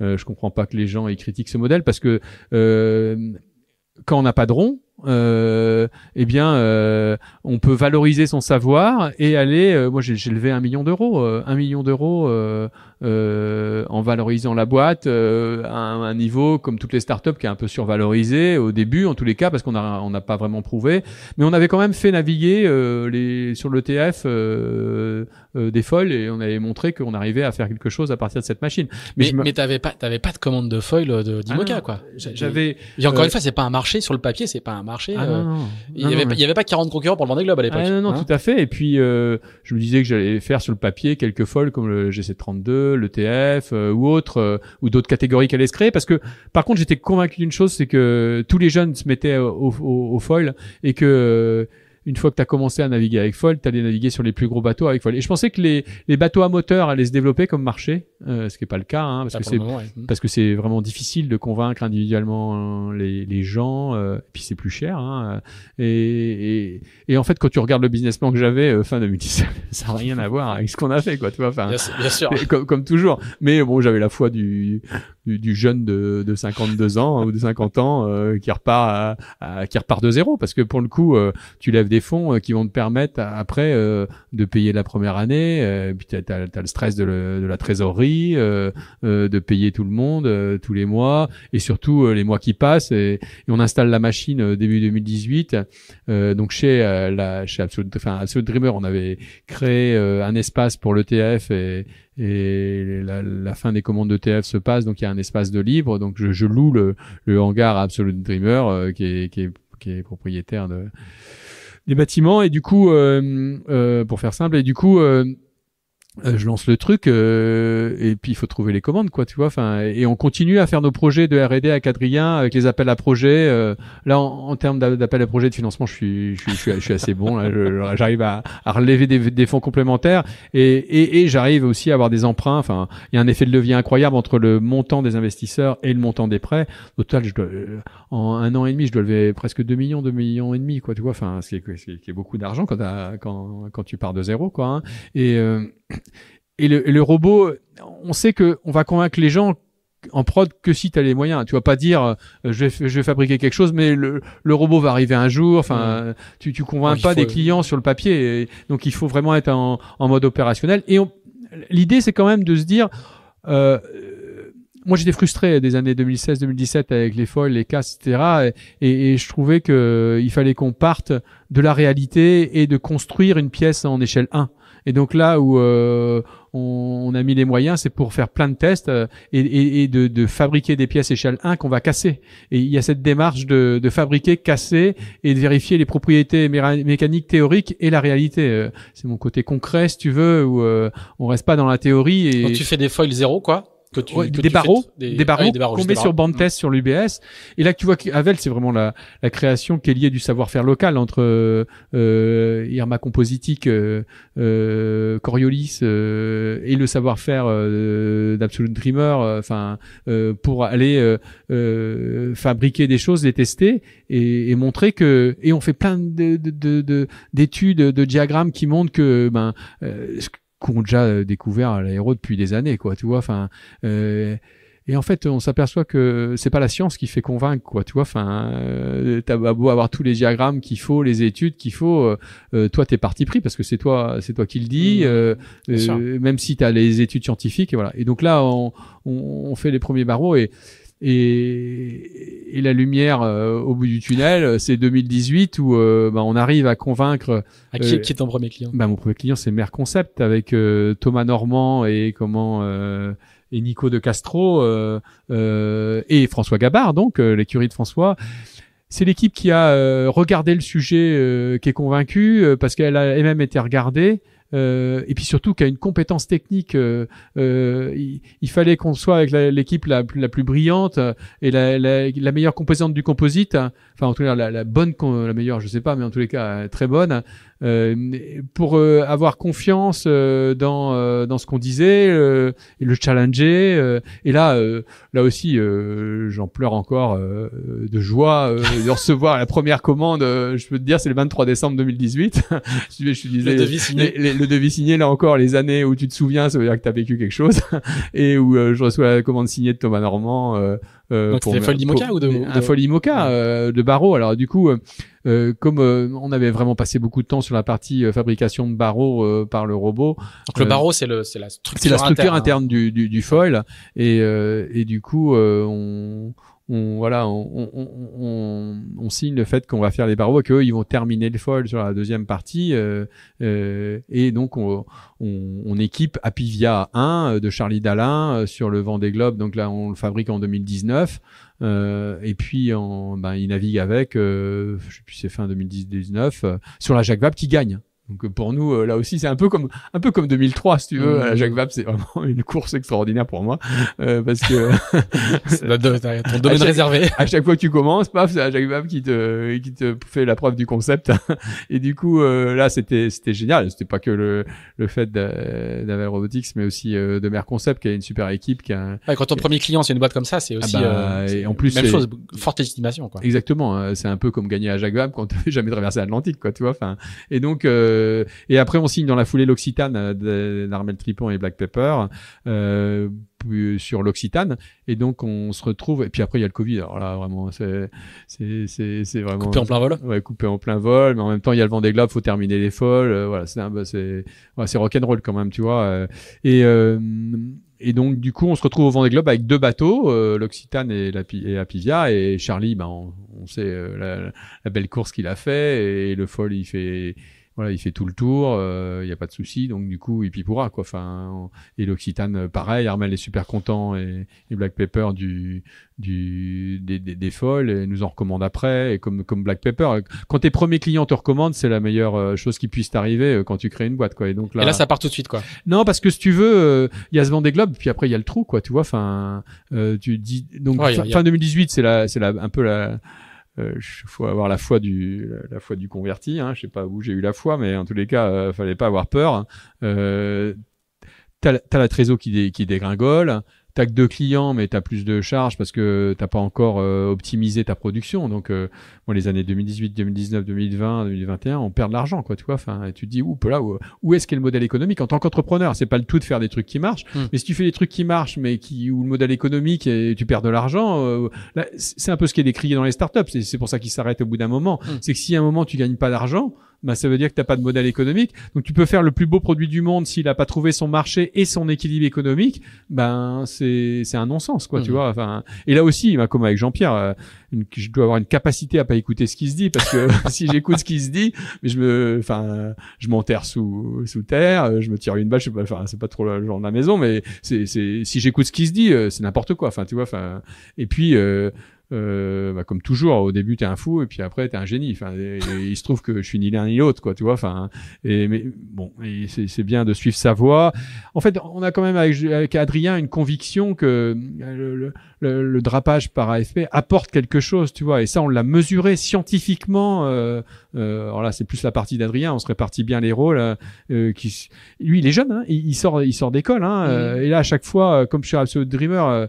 Euh, ben, on fait pas des choses neuves avec des gens qui ont déjà fait la même chose, quoi, tu vois. Et, c'est très difficile au départ d'aller montrer une voie avec euh, des gens qui ont déjà fait euh, tout un parcours de fabrication autre. Hein.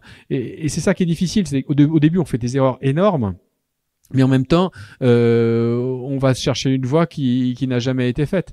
Et, et c'est plus facile presque que euh, de, de, de, le faire avec des gens qui n'ont pas d'idées préconçues, parce que le chemin le plus court, c'est celui que tu connais. Hein, c'est pas le chemin le plus court, mmh. c'est celui que tu connais. Et donc, quand tu le connais pas, tu peux trouver un autre chemin plus court, mais parce que tu le connais pas. Autrement, mmh. euh, tu prends la route que tu connais et tu vas y arriver plus vite, ce qui est vrai. Donc, on met on met du temps, mais on y arrive. Et l'année qui est difficile, et là encore, le truc qui est incroyable dans, dans la vie et dans l'histoire, c'est que Nicolas Bivin se retrouve sur un projet de de de grand le, vainqueur de, le vainqueur de la Java hein. non euh, 2003 2003 ouais tout à fait se retrouve et et la et ouais de, et voilà et qui était revenu dans l'équipe euh, en 2010 euh, refaire euh, Virbac Paprec 3 euh, et du ou Paprec Virbac 3 je sais plus je me mélange. Et du coup euh, il, est nommé par les chantiers d'Atlantique il y est toujours et il y est toujours il revient parce qu'il était faire autre chose, mais il est nommé par les chantiers atlantiques pour développer un, un, un, mât sur les paquebots de croisière. Et donc, euh, ben là, il commence, il a déjà commencé le projet. Aussi, il a fait appel comme expert technique à Jean Lecam, qui a testé euh, un mât sur son sur son bateau, hein, euh, avec Uber, une voile rigide, ouais. avec une voile rigide sur Uber. Hein, euh, c'est génial. Et et du coup, il fait appel parce que lui, il, ben, il connaît le milieu de la course au large. Il fait appel, il sait qu'il faut mettre un mât en composite parce qu'il se mât de 70 mètres de haut. Hein, c'est deux fois la taille des, des grands trimarans. Hein, il bascule à 45 degrés et il sait qu'il va pas le faire en acier parce que Ça ça, le fera pas et il fait un mât euh, autoporté euh, donc il peut tourner à 360 parce que quand le cargo rentre dans le port, il va pas, euh, il va pas se mettre face au vent. C'est des paquebots, hein. C'est des paquebots, ouais. Ouais. donc c'est des paquebots. Et, et le but, c'est de créer un mât sur des paquebots euh, donc de 200 mètres de long. Euh, les paquebots de l'échange atlantique font 300 mètres. 200 mètres de long, trois mâts de 70 mètres, euh, 1000 mètres carrés de voile euh, par mât, euh, de façon à, à diminuer de 40%. Euh, l'empreinte carbone, ouais, la consommation, parce qu'il y a la règle internationale qui fait que ça pousse à, à, à aller mettre des mâts sur les voiles. Et, et même les, il y a le Covid qui est passé. Alors heureusement, ils avaient été visionnaires avant parce qu'ils ils se sont dit à un moment, euh, euh, la, plus, la moyenne d'âge des gens sur les paquebots, c'est plutôt 55, 60 ans. Euh, les jeunes, ils vont dire, eh, papy, euh, tu vas sur ton truc euh, qui pollue là. Euh, donc ils se sont dit, ben, peut-être à un moment, il va falloir qu'on qu'on qu'on fasse quelque chose. Et donc ils ont ce projet un peu fou de mettre des, des mâts de 70 mètres. Et, c'est Nicolas Vivin qui, règle ça. Et Nicolas est, visionnaire entre guillemets en se disant, ben, si le marché part, euh, on, on devra faire 10 à 15 mâts par an. Et ça, on va pas le faire à la main, quoi. Ou alors, on faudra qu'on aille en Asie, mais quand même, 10 avec les problèmes de qualité qu'il peut y avoir aussi. euh, Là, je pousse ma paroisse où en France, on, on travaille bien. Et il se dit, euh, va falloir qu'on industrialise le- la chose. Et ce sont des industriels au chantier de l'Atlantique. hein.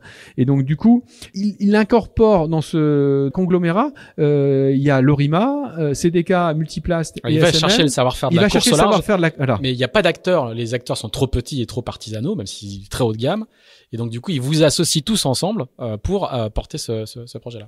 Merci, tu le dis très bien. C'est exactement ça. Parce que juste, euh, parce que un mât de, de, des Silent Seas, de ces paquebots-là, c'est l'équivalent de 4 ou 5 IMOCA en, en quantité carbone. Je, je connais, plus le chiffre. Hein, c'est C'est pour- 20 tonnes. c'est 20 le, tonnes de le carbone. mât, t'imagines, c'est euh, c'est l'équivalent. c'est- plus c'est plus que 8 la à 9 fabrication d'une boîte euh, Mm, de- d'une de ces boîtes par an, si tu veux. Mm. Donc du coup, c'est c'est colossal. Et donc il sait que Donc Euh, dedans, il y a Avel, euh, il y a toi, il y a Multiplast, CDK, enfin toute la toute la Ouais. jet set du carbone de la de la course large. j'adore. Ouais, oui. on se vit pas comme Non, ça. mais hein. des gens qui sont qui peuvent être parfois concurrents, même qui sont que vous Ah, êtes mais- tous concurrents et vous travaillez tous ensemble sur ce projet-là. Et c'est le côté génial, c'est-à-dire que Multiplace CDK l'avait déjà fait à construire ensemble des bateaux pour l'Ocean des bouts, Race. ouais, et- Même encore aujourd'hui, Même encore aujourd'hui, exactement. Ils l'avaient déjà fait ensemble. Et là, euh, bah, il y a aussi un changement d'actionnaire hein, sur ces différentes boîtes qui fait que euh, on change de génération. Et il y a, il y a Dominique Dubois qui est moteur pour euh, pour euh, voilà assembler avec à- Philippe à l'époque, Fac. était le patron de. Et, et ouais, tout à fait, avec groupe. Philippe Fac. Et du coup, euh, euh, et Vincent Marsaudon.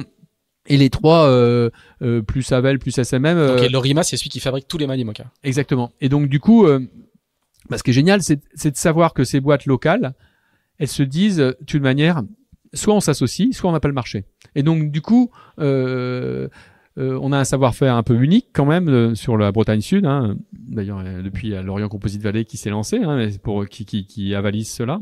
Et du coup, euh, euh, on se réunit parce que la capacité de production d'une boîte n'aurait pas permis de faire le mât. Et avec la demande euh, envisagée.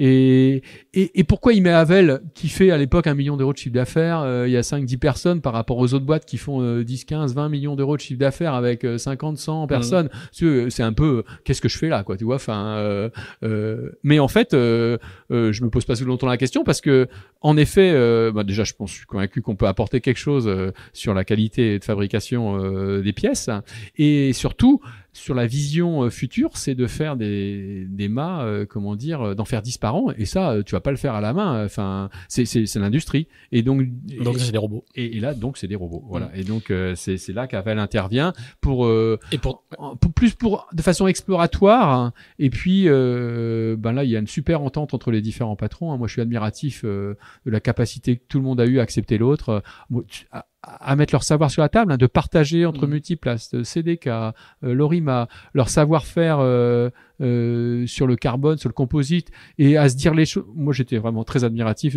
J'étais autour de la table là, j'étais vraiment très admiratif de cette capacité à partager pour pour, pour ce marché euh, qui qui est le marché euh, d'aujourd'hui maintenant. hein. et puis qui, et puis qui pour toutes vos boîtes euh, est un débouché euh, considérable. Quoi. Exactement, pour toutes nos Parce boîtes. c'était ça dont on parlait au début, c'est que euh, voilà les, les bonnes dans la Exactement. catégorie les bonnes nouvelles. Et donc Ça, ça, ça, ça, ça change un peu la Bah, ça change parce que ça me permet de passer l'année 2020-2021 où il y a plus de commandes euh, de Mm. folle pendant la période Vendée Globe. Là, ça s'arrête en juin et ça repart euh, juin euh, de l'année d'après, en fin 2021. Mm.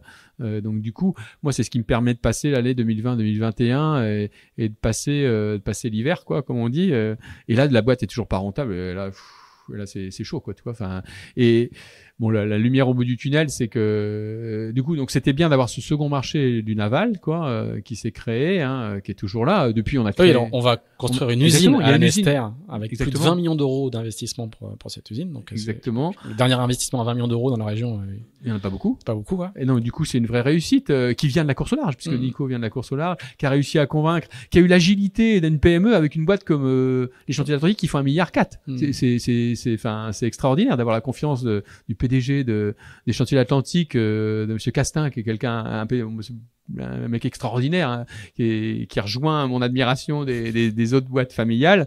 Et de, de, de lancer cette boîte de zéro euh, et l'objectif c'est de faire 10 mâts par an. Et donc il a acheté un robot de drapage et, et ça va se faire par robot de drapage. Mm. donc du coup euh, là là moi ça ça avalise euh, un peu euh, comment dire mon choix stratégique de se dire euh, à l'avenir que ce soit pour des protos ou que ce soit pour des pièces de série euh, le robot de drapage est, est une solution Et après, euh, euh, après cette, ce, ce, pas- ce passage à vide entre guillemets, euh, là par contre les commandes de foil euh, commencent à, commencent à tomber.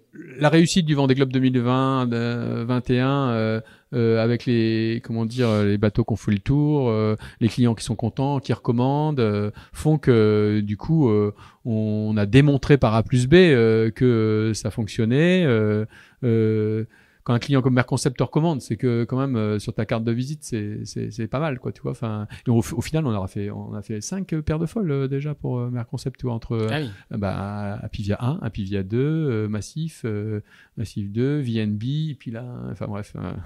Plus et tout ça que tu ne peux pas annoncer. ouais, exactement, et c'est génial, tu vois. Enfin, Bon, et c'est alors c'est des gros objets hein, qui Ah sont oui. facturés Là, plusieurs contre- centaines de milliers d'euros. Enfin, je veux dire, c'est des Ouais, puis la taille a changé. Voilà. Comme je disais, puis- entre là encore en- entre le- la vision que j'avais au début, les foils de 2016 euh, faisaient 3 mètres, là ils font 6-7 mètres d'envergure. euh, les, les pièces sont passées de 100 kg à 300 kg. Enfin, c'est voilà, c'est assez euh, voilà, c'est une belle aventure. euh, et, là du coup, forcément la boîte se développe et nous on passe de 10 à euh, on était 10 en 2000 voilà euh, 2020 21 on est passé à 15-20 en 2023, en 2024 on est passé à 30, tu vois. Enfin, et, et l'année dernière, moi comme je veux pas être dépendant que du que du nautisme et je continue Ah, voilà, à innover, euh, voilà, on, on a essayé, on on n'a pas essayé, on a réussi, on a fait une première aile d'avion l'année dernière, euh, euh, euh, voilà, et, et surtout on Une, est une on est aile d'avion de, de, de, de quel type d'avion? Ouais, voilà, et le client pas dire, pas qu'on communique ouais. Ah, malheureusement d'avion. parce que j'a- j'adorerais parce que c'est c'est un super client et euh, une aile enfin l'empennage arrière et du coup